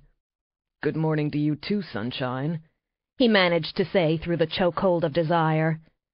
It was torture being near her, but that was infinitely better than the distance she'd maintained over the past few days. You're just hungry. She snorted and turned away, leaving the door open. He walked in to find her at the counter, cutting slices of bread from what looked like a home-baked loaf. He forced himself to stand to the side instead of going behind her and bending down to draw in the lusciously feminine scent along the line of her throat. Only bread today? She lifted the knife and pointed it in his direction. Do you want to get fed or not? I love bread. He knew how to stroke his mate when she needed stroking. His mind immediately took the image and ran with it, ratcheting his hunger past explosive. Why are you half-dressed? She was wearing his old football shirt and those ridiculous pink fluffy slippers. Sexy and adorable. A killer combination. I was minding my own business in my own house. You're the one who decided to intrude. She slapped some butter onto a slice of bread and shoved it in his direction. He decided not to ask for jam. Bad night? Nate, she said very quietly, gripping the edge of the counter with her hands. Did you come here to gloat? He put down the half-eaten piece of bread. What the hell are you talking about? You know exactly what I'm talking about. She turned and poked at his chest with a sharp finger. Look, I can make stupid virginal Tammy Maher so hot she doesn't know which way is up. I can leave her gasping for me and walk away as if it doesn't matter. Hey. He grabbed at her hand, but she pulled away. I didn't mean anything like that. I didn't have a good night's sleep either. Oh, that makes it all right. She threw up her arms. We were both miserable. Whoop-de-frickin-do. There was no missing the sarcasm. It dripped from every word. What the hell is it with you lately? He succeeded in trapping her against the counter. Nothing. She shoved at him, but he was far stronger. Go away. Go away and leave me alone. Don't you get that? How many times do I have to tell you? You don't get to do that. I'm your mate. She stopped fighting, her chest heaving. No, Nate. Like I told you before, you don't get to pick and choose which parts of the mating bond you want to accept. As far as your treatment of me goes, I'm not your mate. I'm simply another young, uninteresting female. Don't be an idiot. I'm not. I'm sexually frustrated. She narrowed her eyes. But as we discussed last night, that can be easily fixed. He snapped. How could she possibly think to replace him with some mechanical object? Masculine pride, pure need, and raw heat made for a volatile combination. Sex? That's really what this is about? He pushed harder into her, crushing the softness of her thighs under his. Instead of backing off, she pushed into him. Yes, yes, yes! Clear enough for you? Fine. Grabbing her waist, he lifted her onto the counter, spreading her knees wide in the same move. Something fell to the floor and shattered, but he didn't give a shit. You wanna fuck, we'll fuck. A hint of uncertainty moved over her face. Nate. He closed his hand over the bare skin of her upper thigh. You're backing off? Don't want me now that you're faced with the reality? Her lower lip quivered. Not like this she whispered. Why are you being so mean? The protective male core of him couldn't bear to see her looking so emotionally bruised, but they had to have this out. He couldn't handle being pushed the way she'd been pushing him since her return from New York. I'm trying to give you something. I'm trying to love you the only way I know how, and you're rejecting it because you're hot for sex? That hurt him. Her freedom was the biggest gift he could give her. Some days the cost it demanded threatened to drive him to murder. No, Nathan, no. She cupped his face in her hands. I just need you, all of you, so much that I'm going crazy.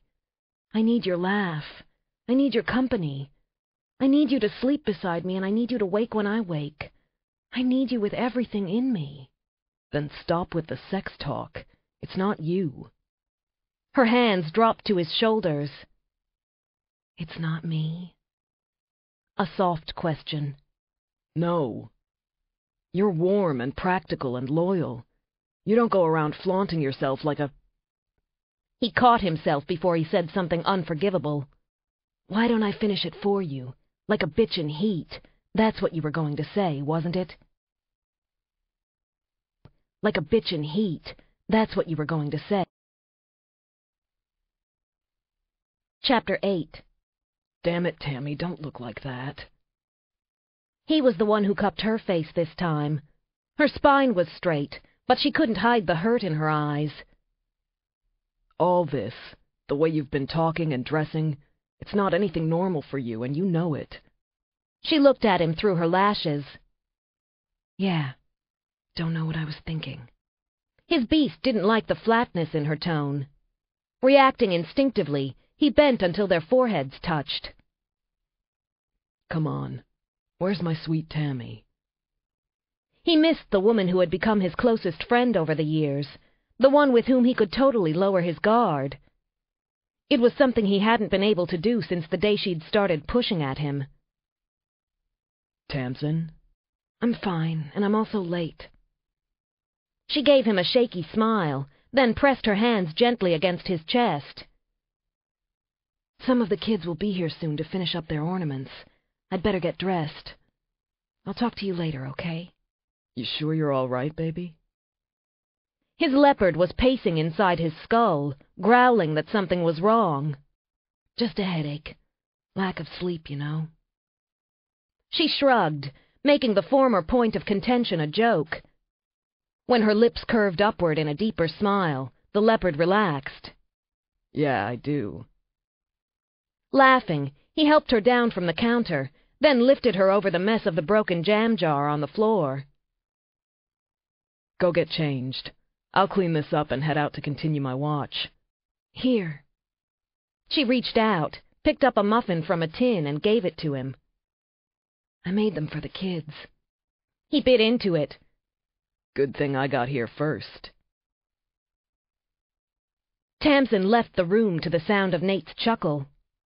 The knives of pain inside her stabbed with brutal force, but she kept her composure until she heard him leave the house. Then she sat down on her bed and cried. The tears weren't of frustration or simple hurt. They were the shattered cries of a broken heart. Juanita had been wrong. The mating heat might have forced Nate into wanting her, but he didn't actually see her as a sexual, desirable woman. He saw her as comfortable, practical, warm, loyal Tamsin. If the bond hadn't thrown them together, he'd probably never have looked at her twice, not as a man looks at a woman. She might have lain there for hours, but she couldn't bear to disappoint the kids. So she got up and dressed. What she saw in the mirror simply reinforced her earlier conclusions. Dressed in a pair of old jeans and a thick white sweater, with her hair pulled back into a ponytail, she looked young and ordinary. She was no temptress. She was safe and sensible, the one that juveniles came to for help without judgment, and mature women for ideas about how to handle rambunctious infants. Even senior packmates didn't blink at asking her advice on pack issues because she was trusted, both for her steady temperament and for her loyal heart, none of which was bad. Only she didn't want Nathan to see her as that. She wanted him to see her as she saw him, as a lover, a playmate in the most intimate of arenas. But he didn't. And that blow cut so deep she could barely think. Something registered in her consciousness. A second later, she picked up the high-pitched sounds of children's voices. The healer in her took over. There was no time for self-pity. Wiping her eyes with the backs of her hands, she went to the bathroom and splashed cold water over her face. Then she used her healing abilities to get rid of the redness around her eyes. The doorbell rang. Pasting on a smile, she walked down and opened the door. The kids' bright and excited faces turned her faux smile real, but nothing could heal the open wound that was the jagged beat of her animal heart. Nate saw Tamsin again that day, but it was hours later and with several others as they sat around her kitchen table eating dinner. She'd chosen not to sit next to him, but he could understand why. The awareness between them had only gotten stronger since this morning, until he could scent nothing but the sensual promise of her. She was everything he had ever wanted. That smile, that acerbic wit she seemed to show him alone, and Lord help him, that body. And she was his. No other man had the right to her. His beast wanted to roar its claim, but he fought the impulse. He'd wait. He'd wait, but maybe not as long as he'd initially planned. He'd give her another six months of freedom at least, let her live some of her dreams. She could go roaming if she liked, explore a bit of the wild. It might be dangerous, but Tamsin was smarter and more mature than most of the other young leopards. She'd be fine. The cat in him didn't like the idea, knew how badly it would hurt to be parted from her, but it had to be done. He never wanted her to turn to him, as his mother had turned to his father, and accuse him of stealing her life. That would destroy him. Because she was his life. The thought of crushing her spirit was his personal nightmare. Are you going to eat, or do you plan on staring at Tammy the whole night? Juanita passed him the potatoes. I can stare if I like. It was his right. Rolling her eyes, she called out to Tammy. Hey, where's that dress you were going to wear tonight? Tammy colored. I changed my mind. You look fine to me. Dressed in black slacks and a pale blue cardigan, she appeared soft and touchable. Strokeable. Shit. His mind was going off track again. Before long, he'd start thinking about unbuttoning that cardigan and kissing his way. Great, Juanita hissed, breaking into the taut eroticism of his newest daydream. Tell your mate she looks fine. What the hell's wrong with that? He took the peas she almost shoved into his chest. She looks. He cut himself off before he said what he wanted to say, which was pretty enough to bite into. Juanita shot him a disgusted glance before turning her attention to the packmate on her other side. Ignoring her, Nate went back to the pleasurable task of watching Tamsin. The beast bucked to taste her. Six months, he told it. Six more months, and then you can have her, in every way, and over again. But a mere week later, his hunger for her had gotten so bad that he had Kyan reassign him to the perimeter. Tammy was no longer trying to flaunt herself at him. If anything, she seemed to be going to great lengths to give him space. Paradoxically, that only amplified the building pressure to mate, to touch and taste and claim. Without the control provided by the vivid scars of memories, he'd have given in a hundred times already. Still, he couldn't keep from going to her each morning, just to see her smile. Hey, sweetheart, any muffins today? She gave him one, but there was no smile on her lips. How's the Salias King situation? Any decisions? We're planning to make a move in a few days. He'd already told her what they intended to do.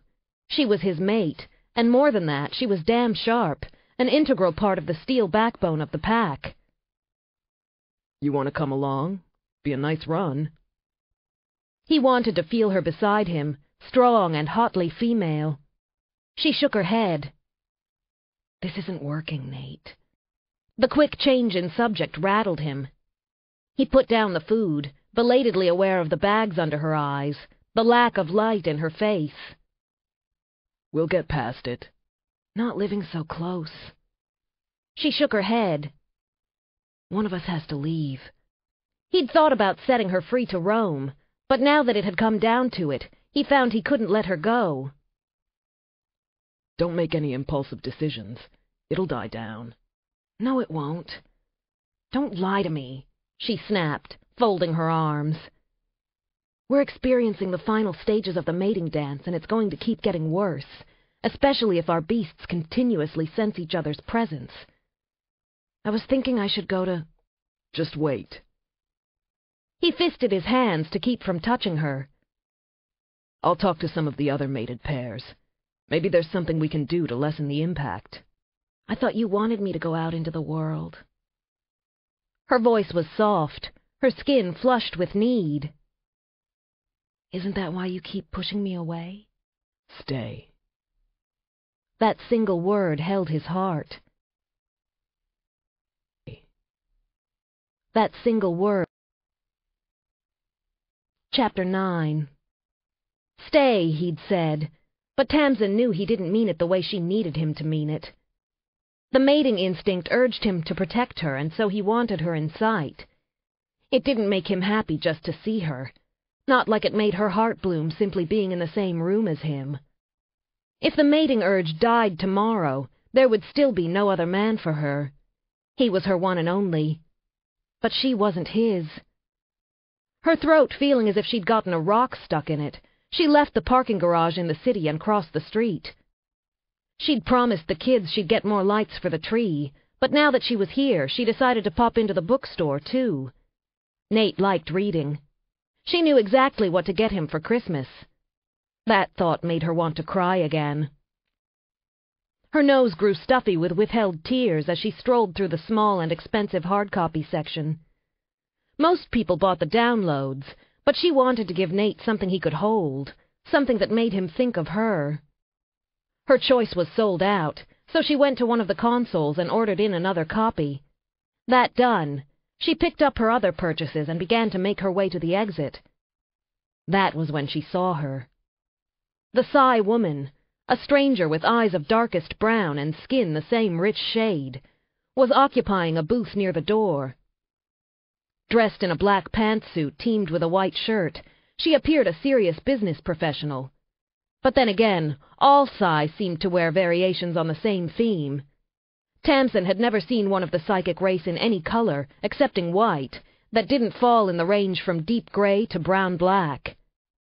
On any other day she would have kept walking, but today she didn't, her motive a mystery even to herself. Excuse me, she said, coming to a standstill near the woman. The Psy looked up. Did you want the terminal? I'll be finished in approximately one minute. She glanced over Tamsin's shoulder. There are several others that appear free. No, I don't want the terminal. Tamsin looked at her, at her human-seeming eyes, her clear skin, and her shining fall of jet-black hair. There was nothing overt that marked this woman as different, as Psy, part of a race that had eliminated its emotions. I wanted to ask you a question. The stranger considered her request for a second. Why are you asking me? I need to ask a Psy, and you're the only one here. I can't fault your logic. She tapped her finger on the screen to complete her purchase, then turned to give Tamsin her full attention. Your question? Do you ever cry? It seemed imperative that she know the answer. The Psy didn't react to the oddness of the question. If she had, she wouldn't be Psy. Even those of my race have little to no control over certain physiological reactions. If, for example, a foreign object were to accidentally enter or touch my eye, that eye would certainly produce fluid in an attempt to excrete the intruding matter. Tamsin frowned at the clinical description of such a wrenching, heartbreaking act. No, I don't mean that. I mean, do you cry? The stranger looked at her for several long moments. As you chose to approach a Psy, you must know the answer to that question. However, I'll respond as I see no possible negative repercussions from doing so. She picked up a slim electronic pad from the desk near the terminal. No. We do not cry out of fear or sadness, anger or rage. We do not feel. Therefore, we do not shed tears. Don't you miss it? Tamsin asked. The Psy ran her gaze over Tamsin's face. Judging from the redness of the blood vessels in your eyes and your stuffy nose, I believe I can say with certainty that crying is in no way a positive experience. Why would I miss it? No, I meant... Don't you miss feeling? Love and hope, joy and need. I can't miss what I've never experienced, the other woman said, as if that should have been self-evident. My race chose to eradicate emotion for a reason. Those with emotions are weak. We're not. It's why the Psy rule this planet. With that, she gave a curt nod and left. Tamsin stared after her, the words circling around and around in her head. Those with emotions are weak. She saw the reflection of her drawn, listless face in the terminal and found herself agreeing. For a frozen heartbeat, she wished she were like that Psy woman. Cool, controlled, focused, no attachments, no hopes, no dreams, and no Nathan. Her eyes, which had started to close, snapped open. No, she whispered fiercely. She would not, could not, live in a world where Nathan didn't exist. He might make her cry as much as he made her laugh, but she couldn't imagine waking up one day and having emptiness where he was. She didn't know much about how and why the Psy race had stopped feeling, but it had to have been a terrible thing that had driven them down this path. Her healer's soul ached for them, for the love they would never touch, but she knew she couldn't help them. Not when they barricaded themselves in their high-rises, their minds shut to the possibility of hope. It's why the Psy rule this planet. Tamsin shook her head. The stranger was wrong. The Psy might rule, but their world was limited to towers of steel and glass. They knew nothing of the joy of running under a full moon and listening to the music played by the wind, of feeling the sensation of a packmate's fur against human skin, of the sheer life that existed in the forests that were her world. But the woman had been right about one thing. How could you miss something you had never experienced? Nathan had never been hers. Their beasts might cry out for each other, but if the human half of Nathan chose to repudiate that bond, who was she to stop him? She left the next day. There was no other way. If she remained within reach, Nathan's beast would eventually push him over the edge. And she couldn't bear to lie with him knowing their intimacy was nothing more than the result of a physical compulsion. It would be a glimpse into her own personal vision of hell. Her friend Finn was more than happy to fly in on short notice. The healer in our pack's not even forty, so I'm not going to get to do anything serious for a while, he told her when she met him at the airport and escorted him into their territory. Dark River wasn't known for its friendliness toward unknown males. They couldn't afford to be, not after the attack by the Shadow Walkers. I know, she said. That's why I asked you rather than Maria. He gave her a smile, but his eyes were watchful. I appreciate it. She ignored the unasked question. I'm going to introduce you to the Alpha. He knows you're coming, of course, but the hierarchy has to be maintained. The laws of rank and hierarchy were there for a reason. They balanced the predatory nature of their animal halves with order. Finn nodded. I'll feel better once he adopts me into Dark River. It wouldn't do for one of your pack to slice me up because they figured me for an intruder. Since she thought the same, she made sure to take him to Lachlan first thing.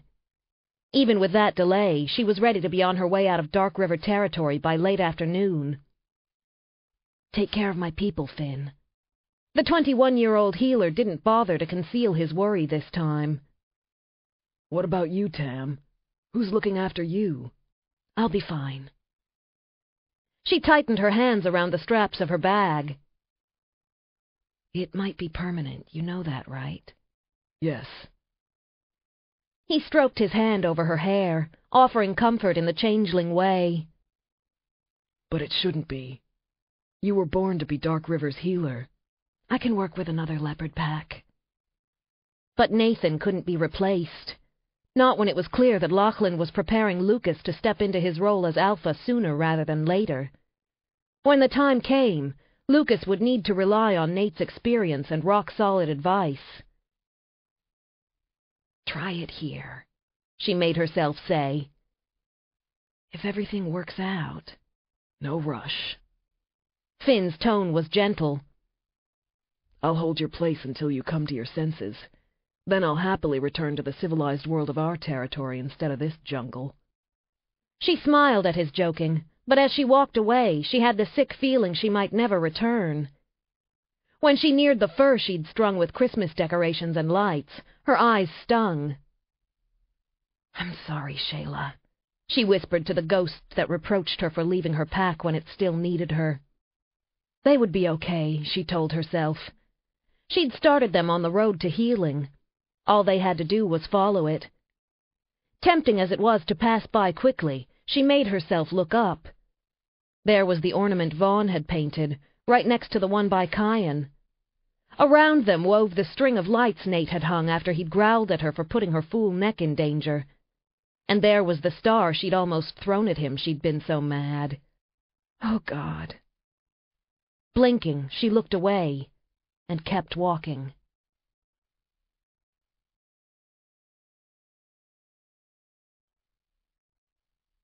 Chapter 10 Nate returned home close to dawn, coming from a night raid to suggest Salias King look elsewhere for his development.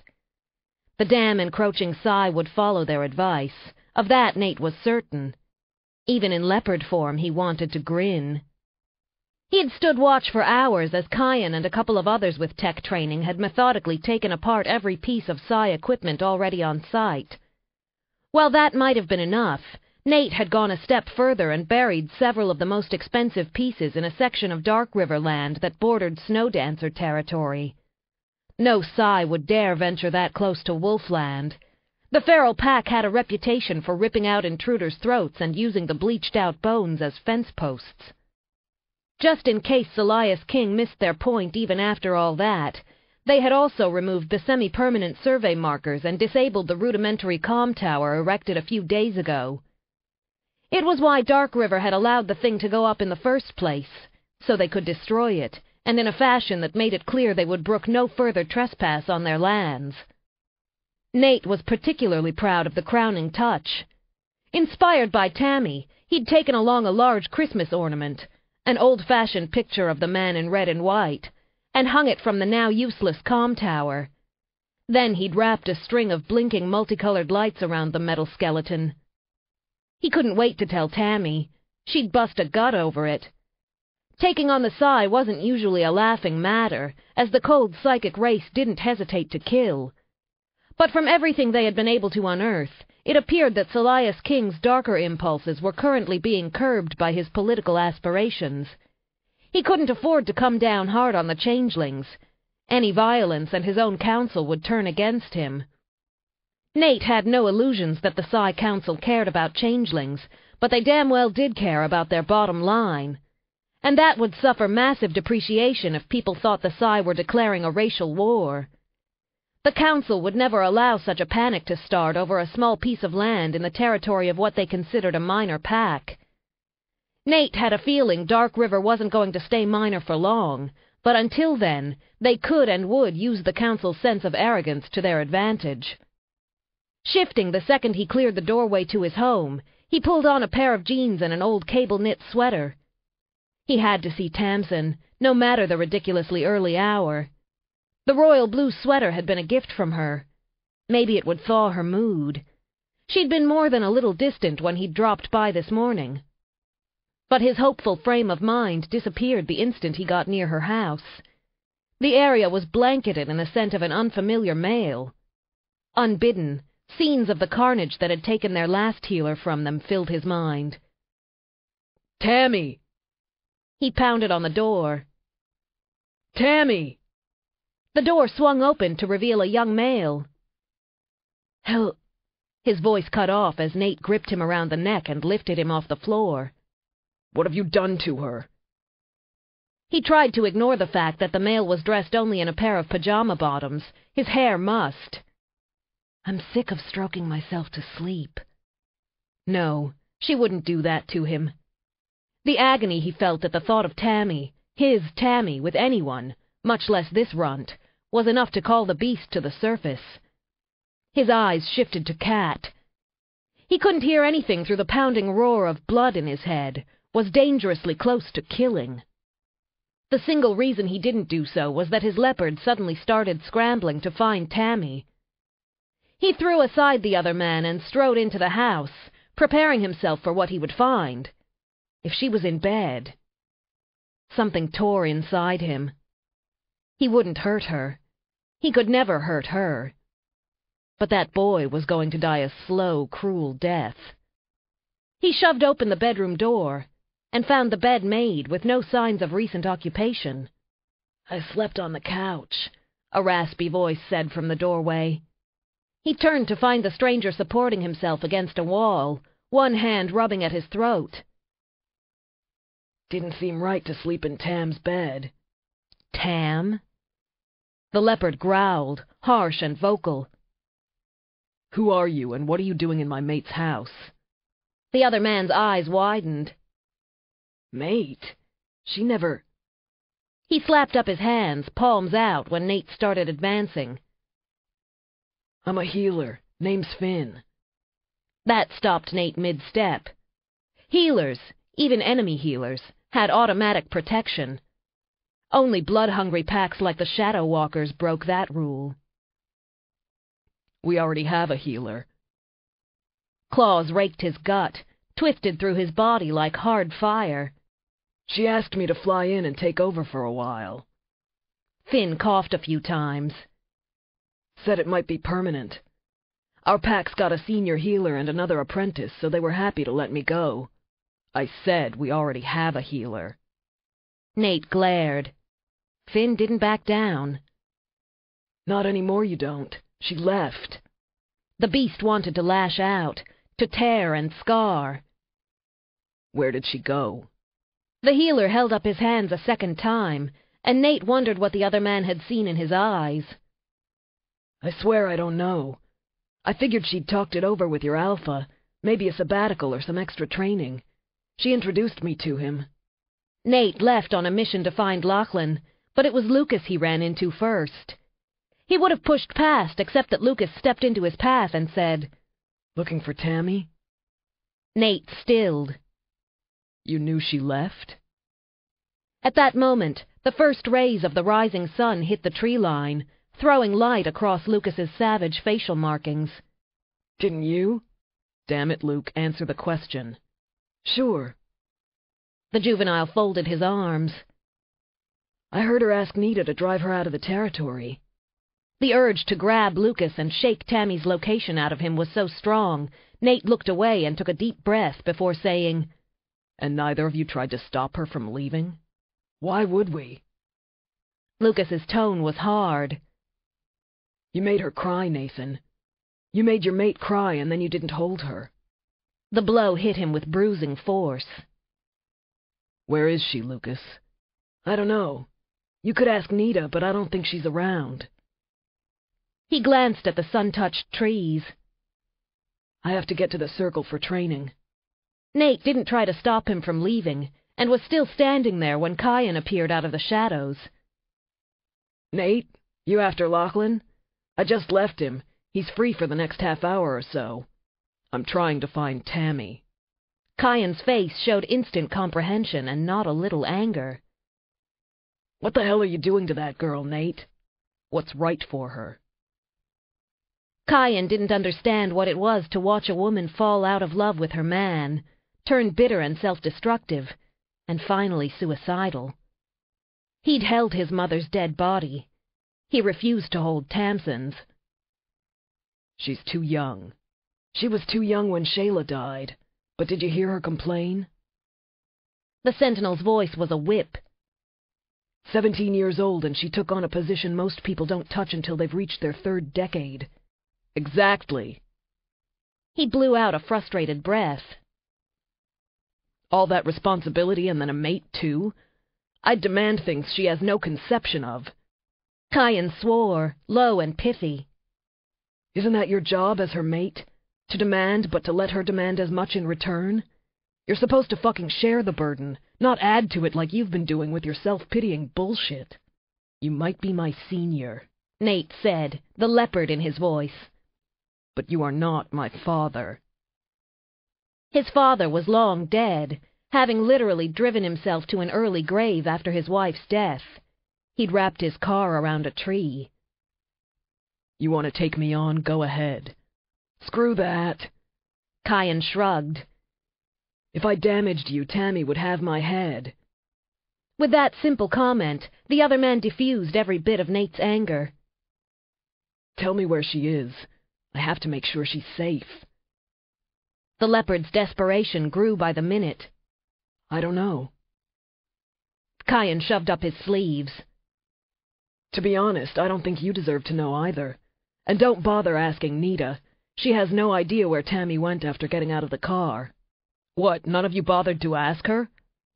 He couldn't believe that, not with how protective they had become after what happened to Shayla, as this inquisition clearly proved. You let her go off on her own without a word of protest? Kyan's eyes turned opaque. She's an adult leopard. No one has the right to question her decisions. And she'd made one to leave him. Nate leaned against a tree and stared up at the dawn sky. It promised to turn a pure, mocking blue. Where did Nita drop her? She wouldn't be hard to track. She was carrying his heart with her. Kyan snorted. Sorry, you're on your own. You made the mess, you can damn well clean it up. But since you look like you've been gut-punched, I will tell you something she said to Lachlan when she made the request to leave and bring Finn in as cover. Nate straightened. What? She said you were more important to the pack. Since one of you had to go, she decided it had better be her. The older male shook his head. My Keeley is the most precious part of my life. How could you let your mate think she was less than you, Nate? Nate still hadn't found an answer to that question seven hours later when he finally located the first hint of a trail. He was certain that this was where she'd left Nita's car. He looked up and found himself close to Tahoe. Tamsin had vanished somewhere in the Lake City streets. Nathan had every intention of hunting her down. Unfortunately, when he returned home to pick up his gear, he found another surprise waiting for him this time in his living room. Where's my daughter, Nathan? was Sadie's first question. He began to grab what he needed. I'll find her. I don't know if I want you to find her. Tamsin's mother scowled. You didn't do a great job of keeping her this time around. I'll bring her home. Why, so you can make her miserable? She moved to block the doorway, fierce in her maternal protectiveness. Let her roam. That's what you've been telling her to do. Well, looks like she listened. Don't you dare go after her. The blunt words brought him to a halt. I can't do that. Why not? It's exactly what you wanted. She's mine to protect. You gave up that right when you decided you didn't want to be her mate. Sadie shook her head. You've done enough. Let my baby go. He stared at her, a sick feeling in his gut. I never said I didn't want to be her mate. Where the hell did you get that idea? And did Tammy think the same?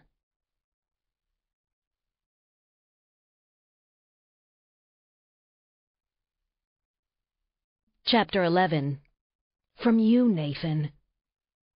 Sadie gave him an arch look as she shook the foundations of his world. Tammy was practically screaming for your love, and you wouldn't so much as hold her. She got the message. She can't break the bond, but she might be able to mute it with distance. What damn message?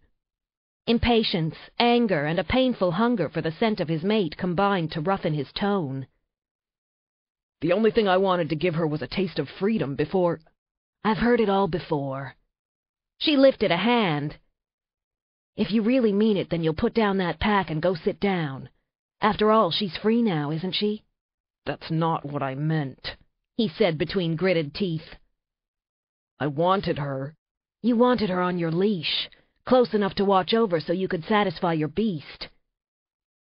Sadie's eyes went pure leopard.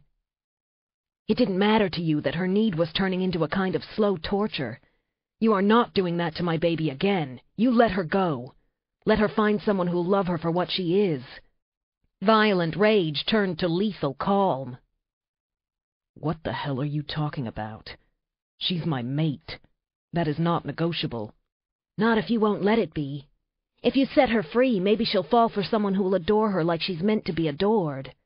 I adore her, he yelled in disbelief. No one else has that right. Do you?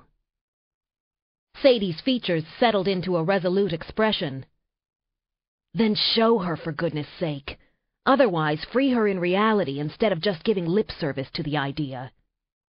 She vacated the doorway.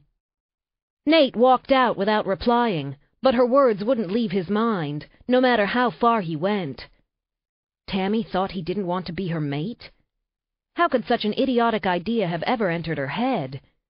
The second he saw her, he was going to growl the truth to her until she damn well listened. Well, maybe he'd hold her first. He'd made her cry, and he hadn't held her. Lucas was right. That was unforgivable. But Tammy was his mate. She had to forgive him. And she had to come home. He couldn't exist without her close to him. Those months she had spent in New York had almost killed him, but at least then he'd been able to tell himself that she was still a girl, not a woman. But now that he'd felt the lush heat of her, he could no longer kid himself. Tammy had grown up. and she'd left him. We'll see about that. The leopard snarled, mad as hell. Not much later, he reached the point where he'd first picked up her trail, close to Tahoe. From there, he could try to track her by scent, or... Or he could do the one thing certain to lead him to her. No choice at all, really.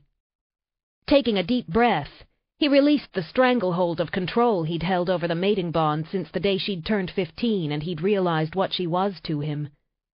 It felt like the whiplash unfurling of a coiled spring, a burst of pure power that actually hurt as it boomeranged off his chest, driving him to his knees. When his head finally stopped spinning, he felt for the bond and found it stretched out taut and clear, a vibrating cord of need, desire, and belonging. He could feel Tammy deep within his core, as if he had a homing beacon tuned only to her signal. It was perfection. And he wasn't sure he could ever block it again. But he'd think about that later. Right now, he had to survive the intensity of the emotions shooting down the bond. It felt like he could reach out and touch her. She was sweetness and hope, woman and fire, erotic heat and gentle affection. And she was his.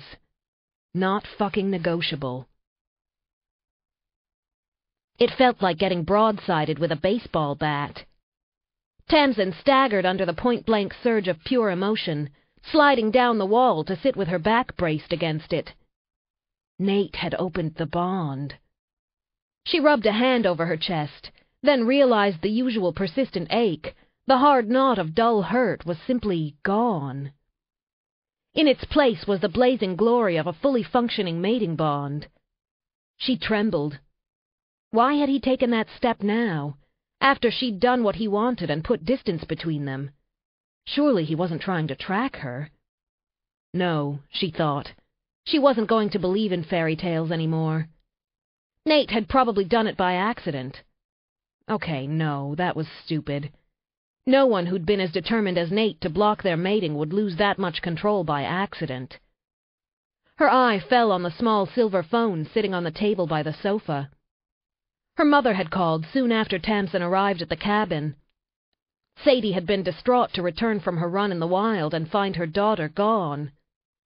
Tamsin had assured her over and over that she was fine, but knowing Sadie, she'd probably ordered Nate to locate her daughter and provide a first-hand report. Tamsin shuddered, trying to breathe past the impact of the fully flowing bond. She had to think, had to stabilize herself before Nathan arrived, so he'd go back and tell Sadie there was no reason to worry. That done, he would think the bond shut again. Her blood flushed hot as the vibrant male energy of him raced through her veins. Mates were joined on an incredibly deep level. To other changelings, the scent of one half of a mated pair became difficult to distinguish from the other the longer they were together. Nate's refusal to accept the bond had denied them that closeness, starving her. Now her senses wanted to gorge. No, she said out loud, forcing calm on herself. All healers had to learn such discipline. It allowed them to work in the chaos of a fight or when attempting to heal those they loved. A pack healer didn't have the luxury of passing on the hard cases to another medic. Every one of their cases was hard, because pack was family. Finally, after ten long minutes, she could think despite the masculine strength of the emotional connection surging through her. Then, for the first time, she tried to close her end of the exquisite pleasure-pain that was her link to this man she adored beyond life, and discovered she couldn't. She fisted her hands. Forget the known wisdom that said the bond couldn't be blocked. If Nate could do it, why couldn't she? It took her an hour to come up with some sort of answer. She remembered what her mother had said, that Nate had had to learn to suppress his needs in order to allow her the time she needed to come of age. That control seemed to have carried over into everything he did in relation to her. But now he'd thrown off the reins and let the cat out to play. It might be impossible to put the lid back on that bottle. Her eyes widened. Nate was not going to be pleased if that proved true. More importantly, she wasn't pleased. She didn't want him to want her because he'd been forced into it by the primal cravings of his beast. Cravings her own beast understood far too well. She wanted him to love her. It was a terribly impractical dream for a practical, sensible healer. Even with the bond, it took Nate three days to track Tamsin to an isolated cottage so far south of the lake there was nothing else within shouting distance. What the hell are you doing out in the middle of nowhere? he said, the second she opened the door. Her eyes narrowed. Trying to get away from you. Turning her back, she walked into the house, her hips encased in those damn painted-on jeans. He was tired, sweaty, and hungry. Not for food. For her. Every soft, curvy, biteable piece of her. His cat wanted to test the resilience of her butt, while his... He slammed the door shut behind himself. Jesus, Tammy. Dark River's operating at red alert while we prepare to take on the Shadow Walkers, and you choose this shack to hide in? It's not a shack, and I'm not hiding, she said, sitting back down to what appeared to be her breakfast. It's Kyan's place. He likes the water. Kyan had lied to him. Not exactly a surprise. It's miles from the lake. It's not that far. He likes privacy, too. Nate dropped his stuff by the door and shoved a hand through his hair. What, this was some silly little jaunt and no one bothered to tell me? He saw red. Then she raised an eyebrow, and that red morphed into something darker, more intense, a blatantly sexual surge of dominance. I'm leaving Dark River. Finn's agreed to stay on permanently. His agreement was what I was waiting for. He didn't believe her. You're leaving the pack. Yes. She put down her uneaten toast and stood. There, you've seen me. I'm fine. Her smile was sharp enough to cut, her eyes sparking with anger that intrigued the leopard even more than the spicy, wild, hot woman scent of her. You can leave the same way you came in. She began to clear the table. Put those dishes down. She ignored him. Covering the distance between them, he closed his hand over her wrist. She released the dishes softly to the table, but didn't turn to face him. What do you want, Nate? I want you to talk to me. He found himself pressing against her. It took only a single move to enclose her in the circle of his arms and bury his face against her neck. He was ravenous for the scent of her, the feel of her. Come on, baby. Her body trembled so violently he felt her skin move against his caressing lips. I can't do this anymore. Her voice was a whisper. Please let me go.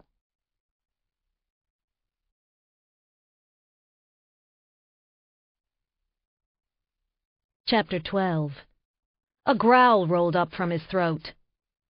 For how long? Why are you asking me that? He didn't like the tremor in her voice. Don't you dare cry, Tammy. That's not fair. I won't. But there was a wet kind of pain in her words. I know you don't really want me. I know it's the cat pushing for mating. That's okay. If I go far enough away, maybe you... What? He couldn't believe his ears. You really believe that load of shit? You made it very clear. Everything went quiet inside him. Lifting his head, he turned her in his arms. Her head stayed down. She wouldn't look at him. Keeping one arm around her, not sure she wasn't getting ready to bolt, he used the fingers of his other hand to tip up her chin. Her eyes were shiny wet, but she met his gaze without flinching. God, she was so proud proud and strong and stubborn. And she'd decided he didn't want her. He intended to teach her the error of her ways once and for all. Holding her gaze, he slid his hand down her neck, over her shoulder, and along her arm until he cupped the back of her hand with his. Then he lifted that feminine hand and placed it on his erection. She jerked in shock. The reflexive tightening of her fingers almost made him cry out. Does this feel like I don't want you? He grit out. It's... She paused, her breath hitching. It's a result of the mating dance. You don't want me, not really. She pulled away her hand, curling it up to her chest as if it hurt. Oh, Jesus. She was not doing this to him. Or is it that you don't want me? He asked softly. Is that it, Tamsin? Am I too old for you? Her head snapped up. Don't you put this on me.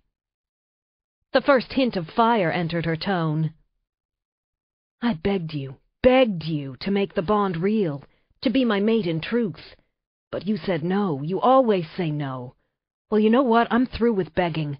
I'm through with not being good enough for you. It felt like she'd stabbed him. You are the best thing that's ever happened to me, he said, the leopard alive in his voice. I've spent every day of the past four years thinking of myself as the luckiest man on the planet. Frustrated as hell, but damn lucky. She shook her head. Don't. Don't lie. It was all he could do not to crush his lips to hers and kiss her into accepting his words. I watch you work and feel such pride, sometimes I think my heart will explode. I look at your body and have to fight the urge to bare my teeth and warn off anyone else from doing the same.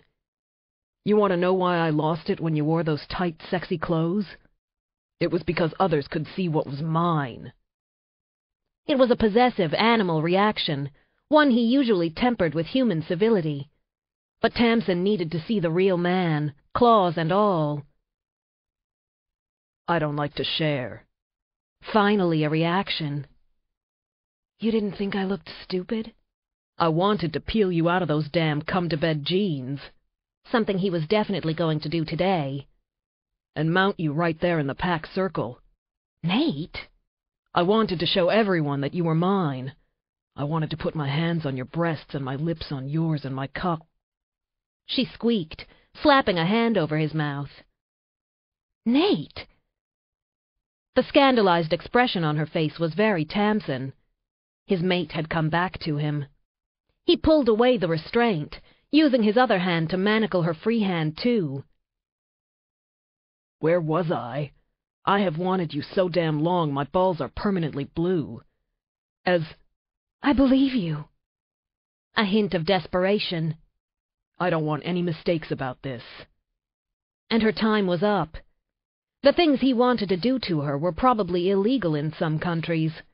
Too bad.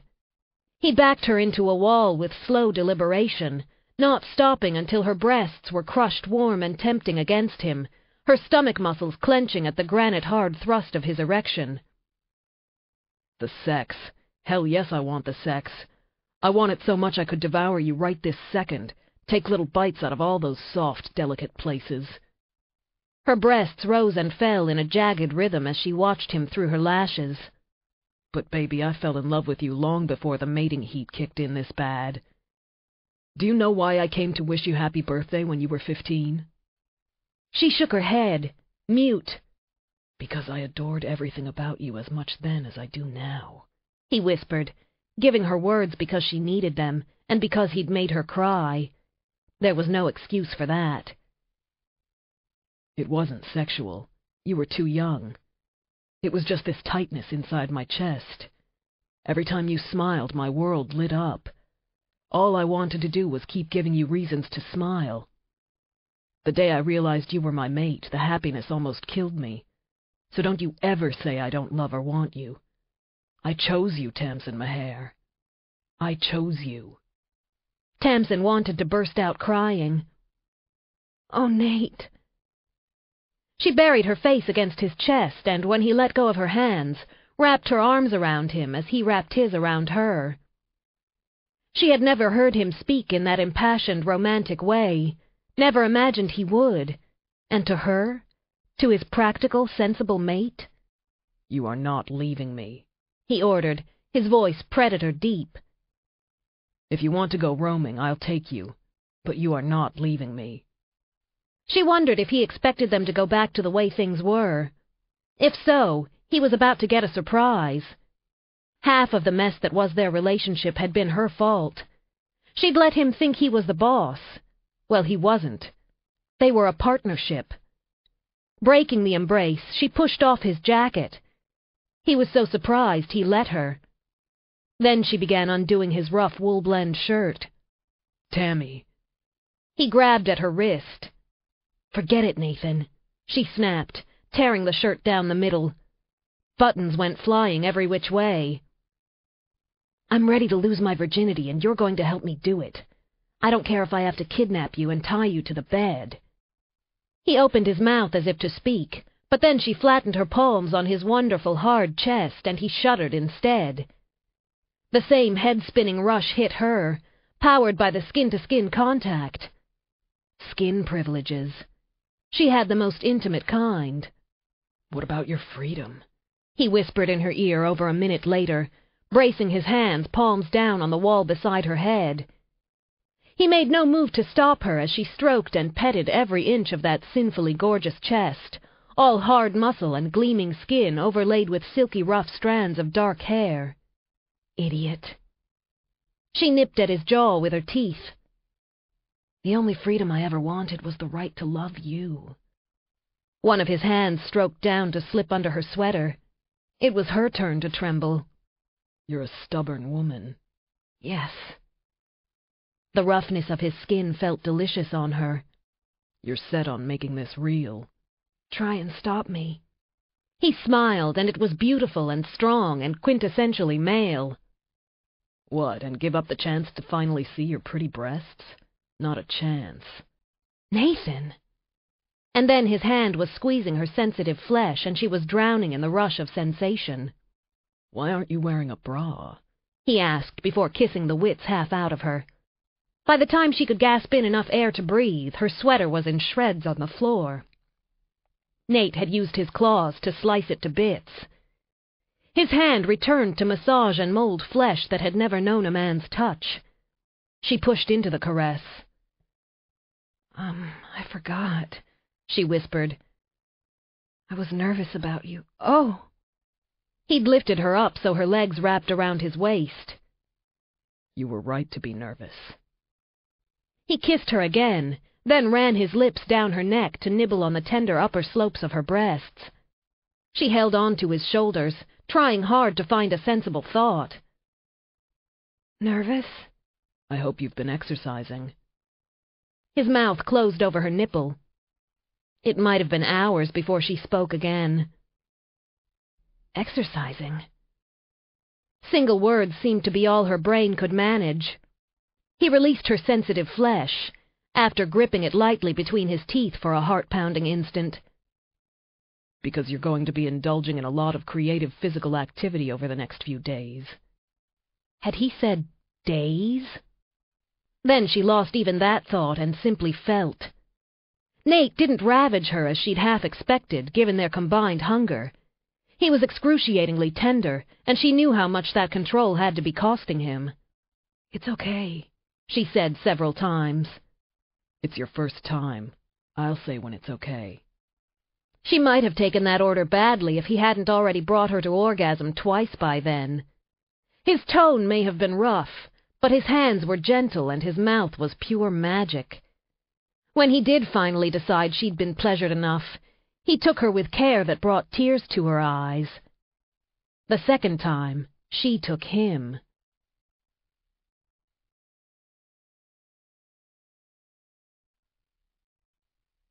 Chapter 13 Salias King did not like to lose. How much damage? he asked. Kinshasa repeated the number. The missing parts will take weeks to reacquire. I thought you said they were a minor pack. He pinned his aide to the spot with his eyes. Your risk analysis was faulty. My variables were based on the known parameters of changeling intellect. Salias couldn't fault Kinshasa. The general consensus among the Psy was that the animals weren't that smart. Find me another site. As Kinshasa left the suite, Salias wondered which one of his enemies had orchestrated the attack. Covert Psy involvement had to be how the changelings had pulled this off. It was preposterous to think he'd been beaten by a pack of animals. Arrogant in his belief of the Psy race's genetic and intellectual superiority, He never once considered that he might be blind to the truth. The truth that things were changing. That the Psy no longer ruled every corner of the planet. And that this minor pack had shown the first signs of the lethal danger it would one day become.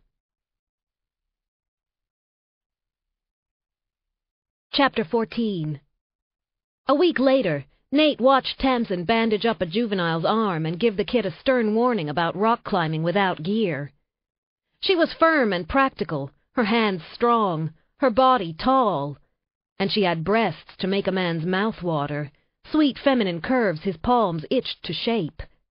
Then she looked up and smiled, and he felt it deep, deep in his core. He wanted to pick her up and kiss her silly, but since the juvenile's eyes were already going wide, he decided to make himself scarce. I'll see you tonight. I have to make that run into San Francisco. Another smile. Don't forget to pick up the things I asked for. He nodded and left, recalling the list he'd shoved into his pocket. Tammy wanted a few healing supplies, a number of grocery items, and some paint to complete the Christmas decorations. He had the list in hand when he reached the city, it was easy to fill, as she'd included instructions about where to go and had called her suppliers ahead of time to let them know he was coming by. For Tammy? A wizened old man asked as soon as Nate stepped into his tiny store in one of the older parts of Chinatown. Yes. His beast picked up a thousand intermingled traces, herbs and spices, medicines and incense, but the mix was strangely soothing. I'm her mate, Nathan. The man's smile was fond as he bent under the counter and lifted up a box. She's a good soul, Tammy. You will protect her, love her. That is your destiny. Nate looked at the shopkeeper, startled. Do you see the future? No. The man laughed. I'm not Psy, only human. Only human, and yet there was such ageless wisdom in those dark button eyes. Nate wondered if the Psy, for all their gifts, would ever be able to achieve that look of utter peace. You're right. About the loving and the protecting. Wrinkled hands picked up a leather-bound book and consulted something written in a strange, unknown language. The stars say you'll have a long and happy life. I'll take that. Nate grinned. A hint of mischief entered the old man's eyes. The women, they don't know what they do to us. It is our secret. Laughing, Nate exited the shop with Tammy's things and began to walk back to the vehicle. He was putting the box into the trunk when he realized he'd parked in front of a florist's, though he didn't recall seeing it the first time around. Shrugging, he closed the trunk and wandered over to the shop, Tammy on his mind. There was no stock displayed outside, probably because of the cold, so he pushed open the door. Hothouse air greeted him. The interior was a jungle of flowers, the air thick with their competing perfumes. Some shop, he muttered, trying to separate out the mingled scents. I do try, said a gentle voice. He turned to find a tiny Chinese woman beside him, her smile beatific. There was a twinkle in her eye that reminded him of someone. I don't suppose you know the healer down the road. My husband. Somehow that seemed right. Oh. He shifted his feet, slightly uncomfortable in a place that was so intrinsically female. I want to buy flowers for my mate. The woman slid her small hands into the front pockets of her apron. Does she like roses? I just received a new batch. She's a healer, too he found himself saying, never having thought to ask Tammy if she liked roses. Ah, a sensible woman. The florist waved him to follow as she weaved through the wild tangle of her shop. Here. She pointed to a sturdy green potted plant with a few white flowers. This will last for years with a little water. Doesn't need much care or attention. Practical. It will suit your healer. Nathan scowled. No. She shrugged and moved to another area of the shop, to point at a bunch of daisies. Sunny, easy to enjoy, but there will be no sadness when they fade. No. All of him, man and leopard, was getting angry, and he couldn't understand why. That's not what I want. Unperturbed, the florist took him around another corner in this shop that was far larger than it appeared from the outside. Ah, I think this must be what you are searching for. She touched the edges of a rough bouquet. These flowers will survive no matter what. Very cheap, she said with a shopkeeper's smile. Common, you know. No. The leopard's claws pricked the insides of his skin, a growl building in his throat. Show me something beautiful, something extraordinary. Well... The woman seemed to think for a while before nodding. She took him to the back of the shop, to a small glass case tucked away under special lights.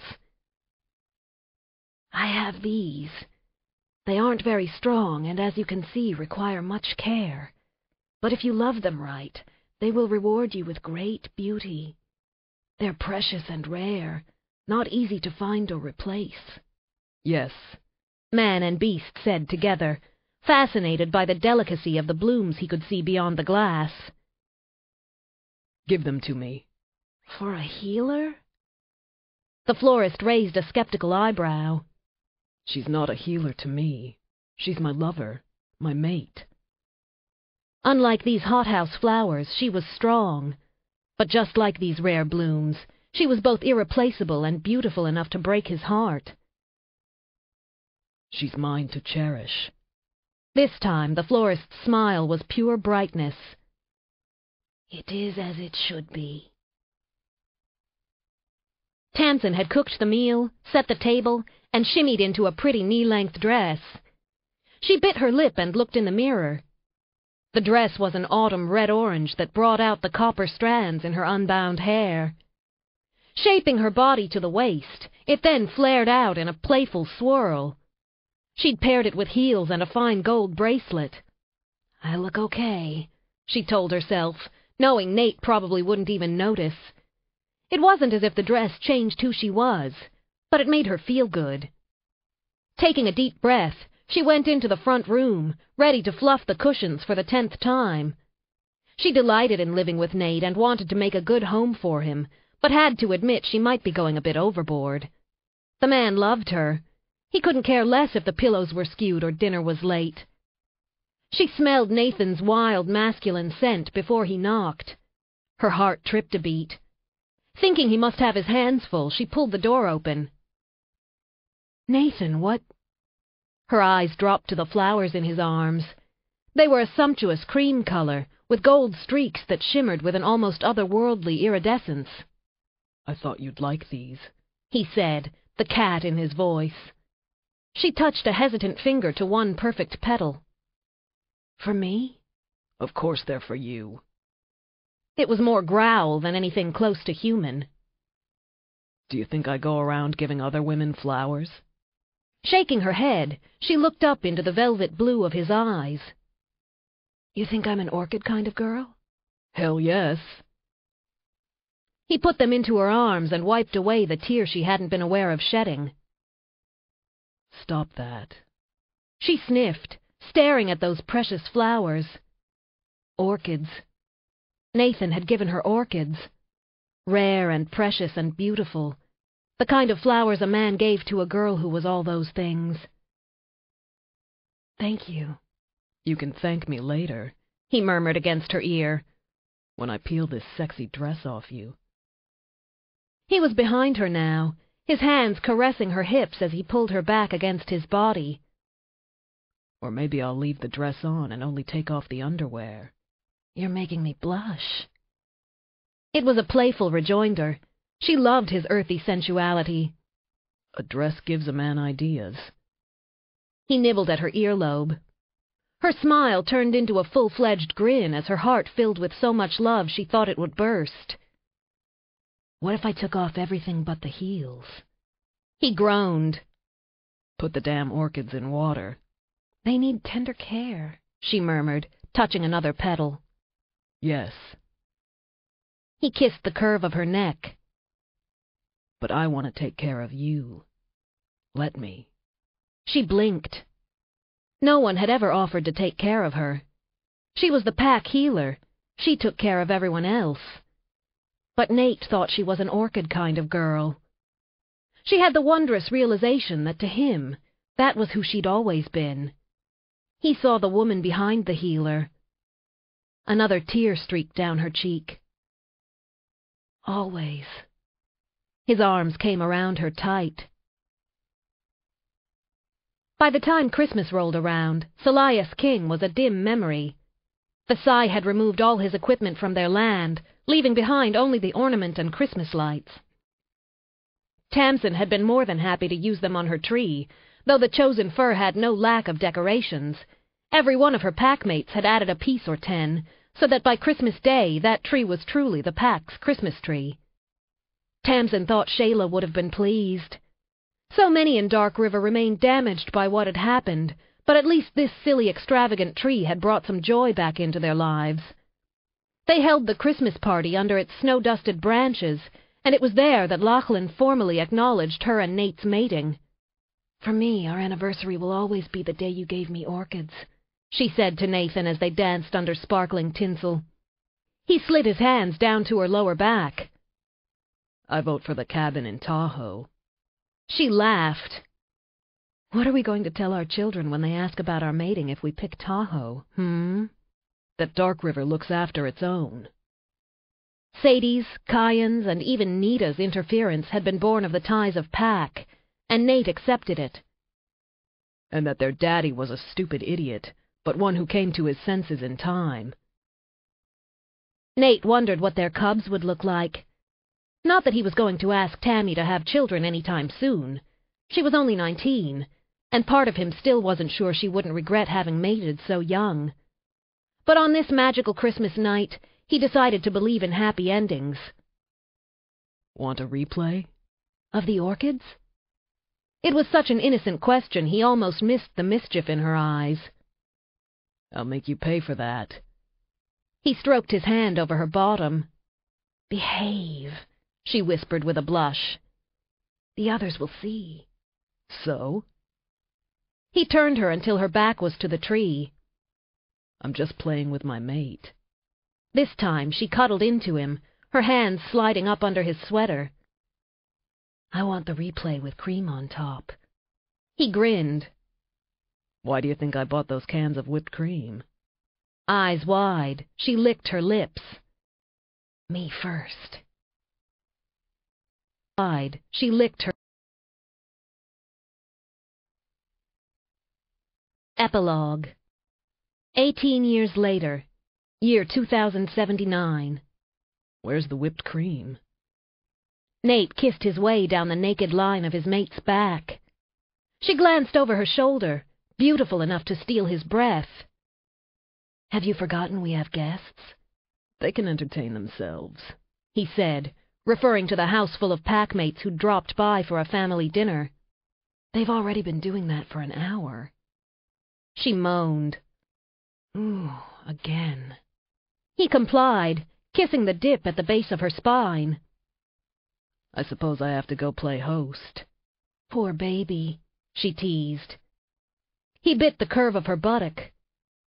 Don't get smart with me, Tamsin Ryder. I know all your secrets. And after eighteen years together, he knew she was his, body and soul. It had taken him almost two years to really believe that truth. But when she'd only gotten happier and happier as time passed, it had become impossible not to.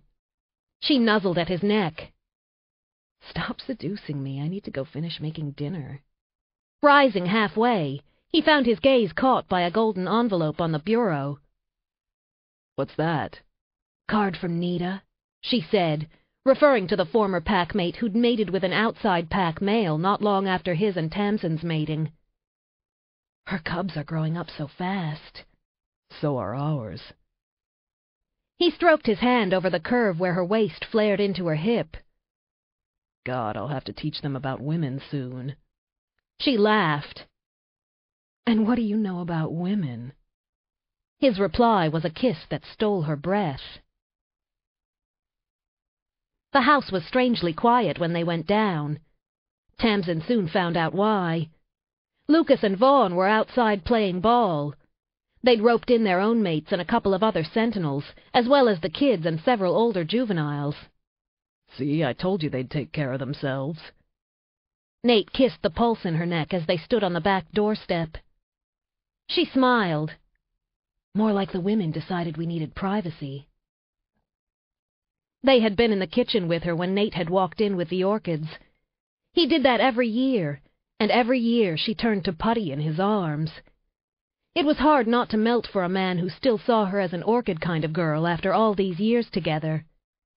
Her mate's teasing reply was lost in the gleeful cries of their cubs as they spotted their parents. Nate walked out and intercepted the pair, scooping them up and hanging them over his shoulders. In spite of Nate's worries, Roman and Julian were still babies, not even three years old. Mommy, help! they cried now between giggles. Nate threw her a grin, and something went hot and tight in her stomach. God, she loved him.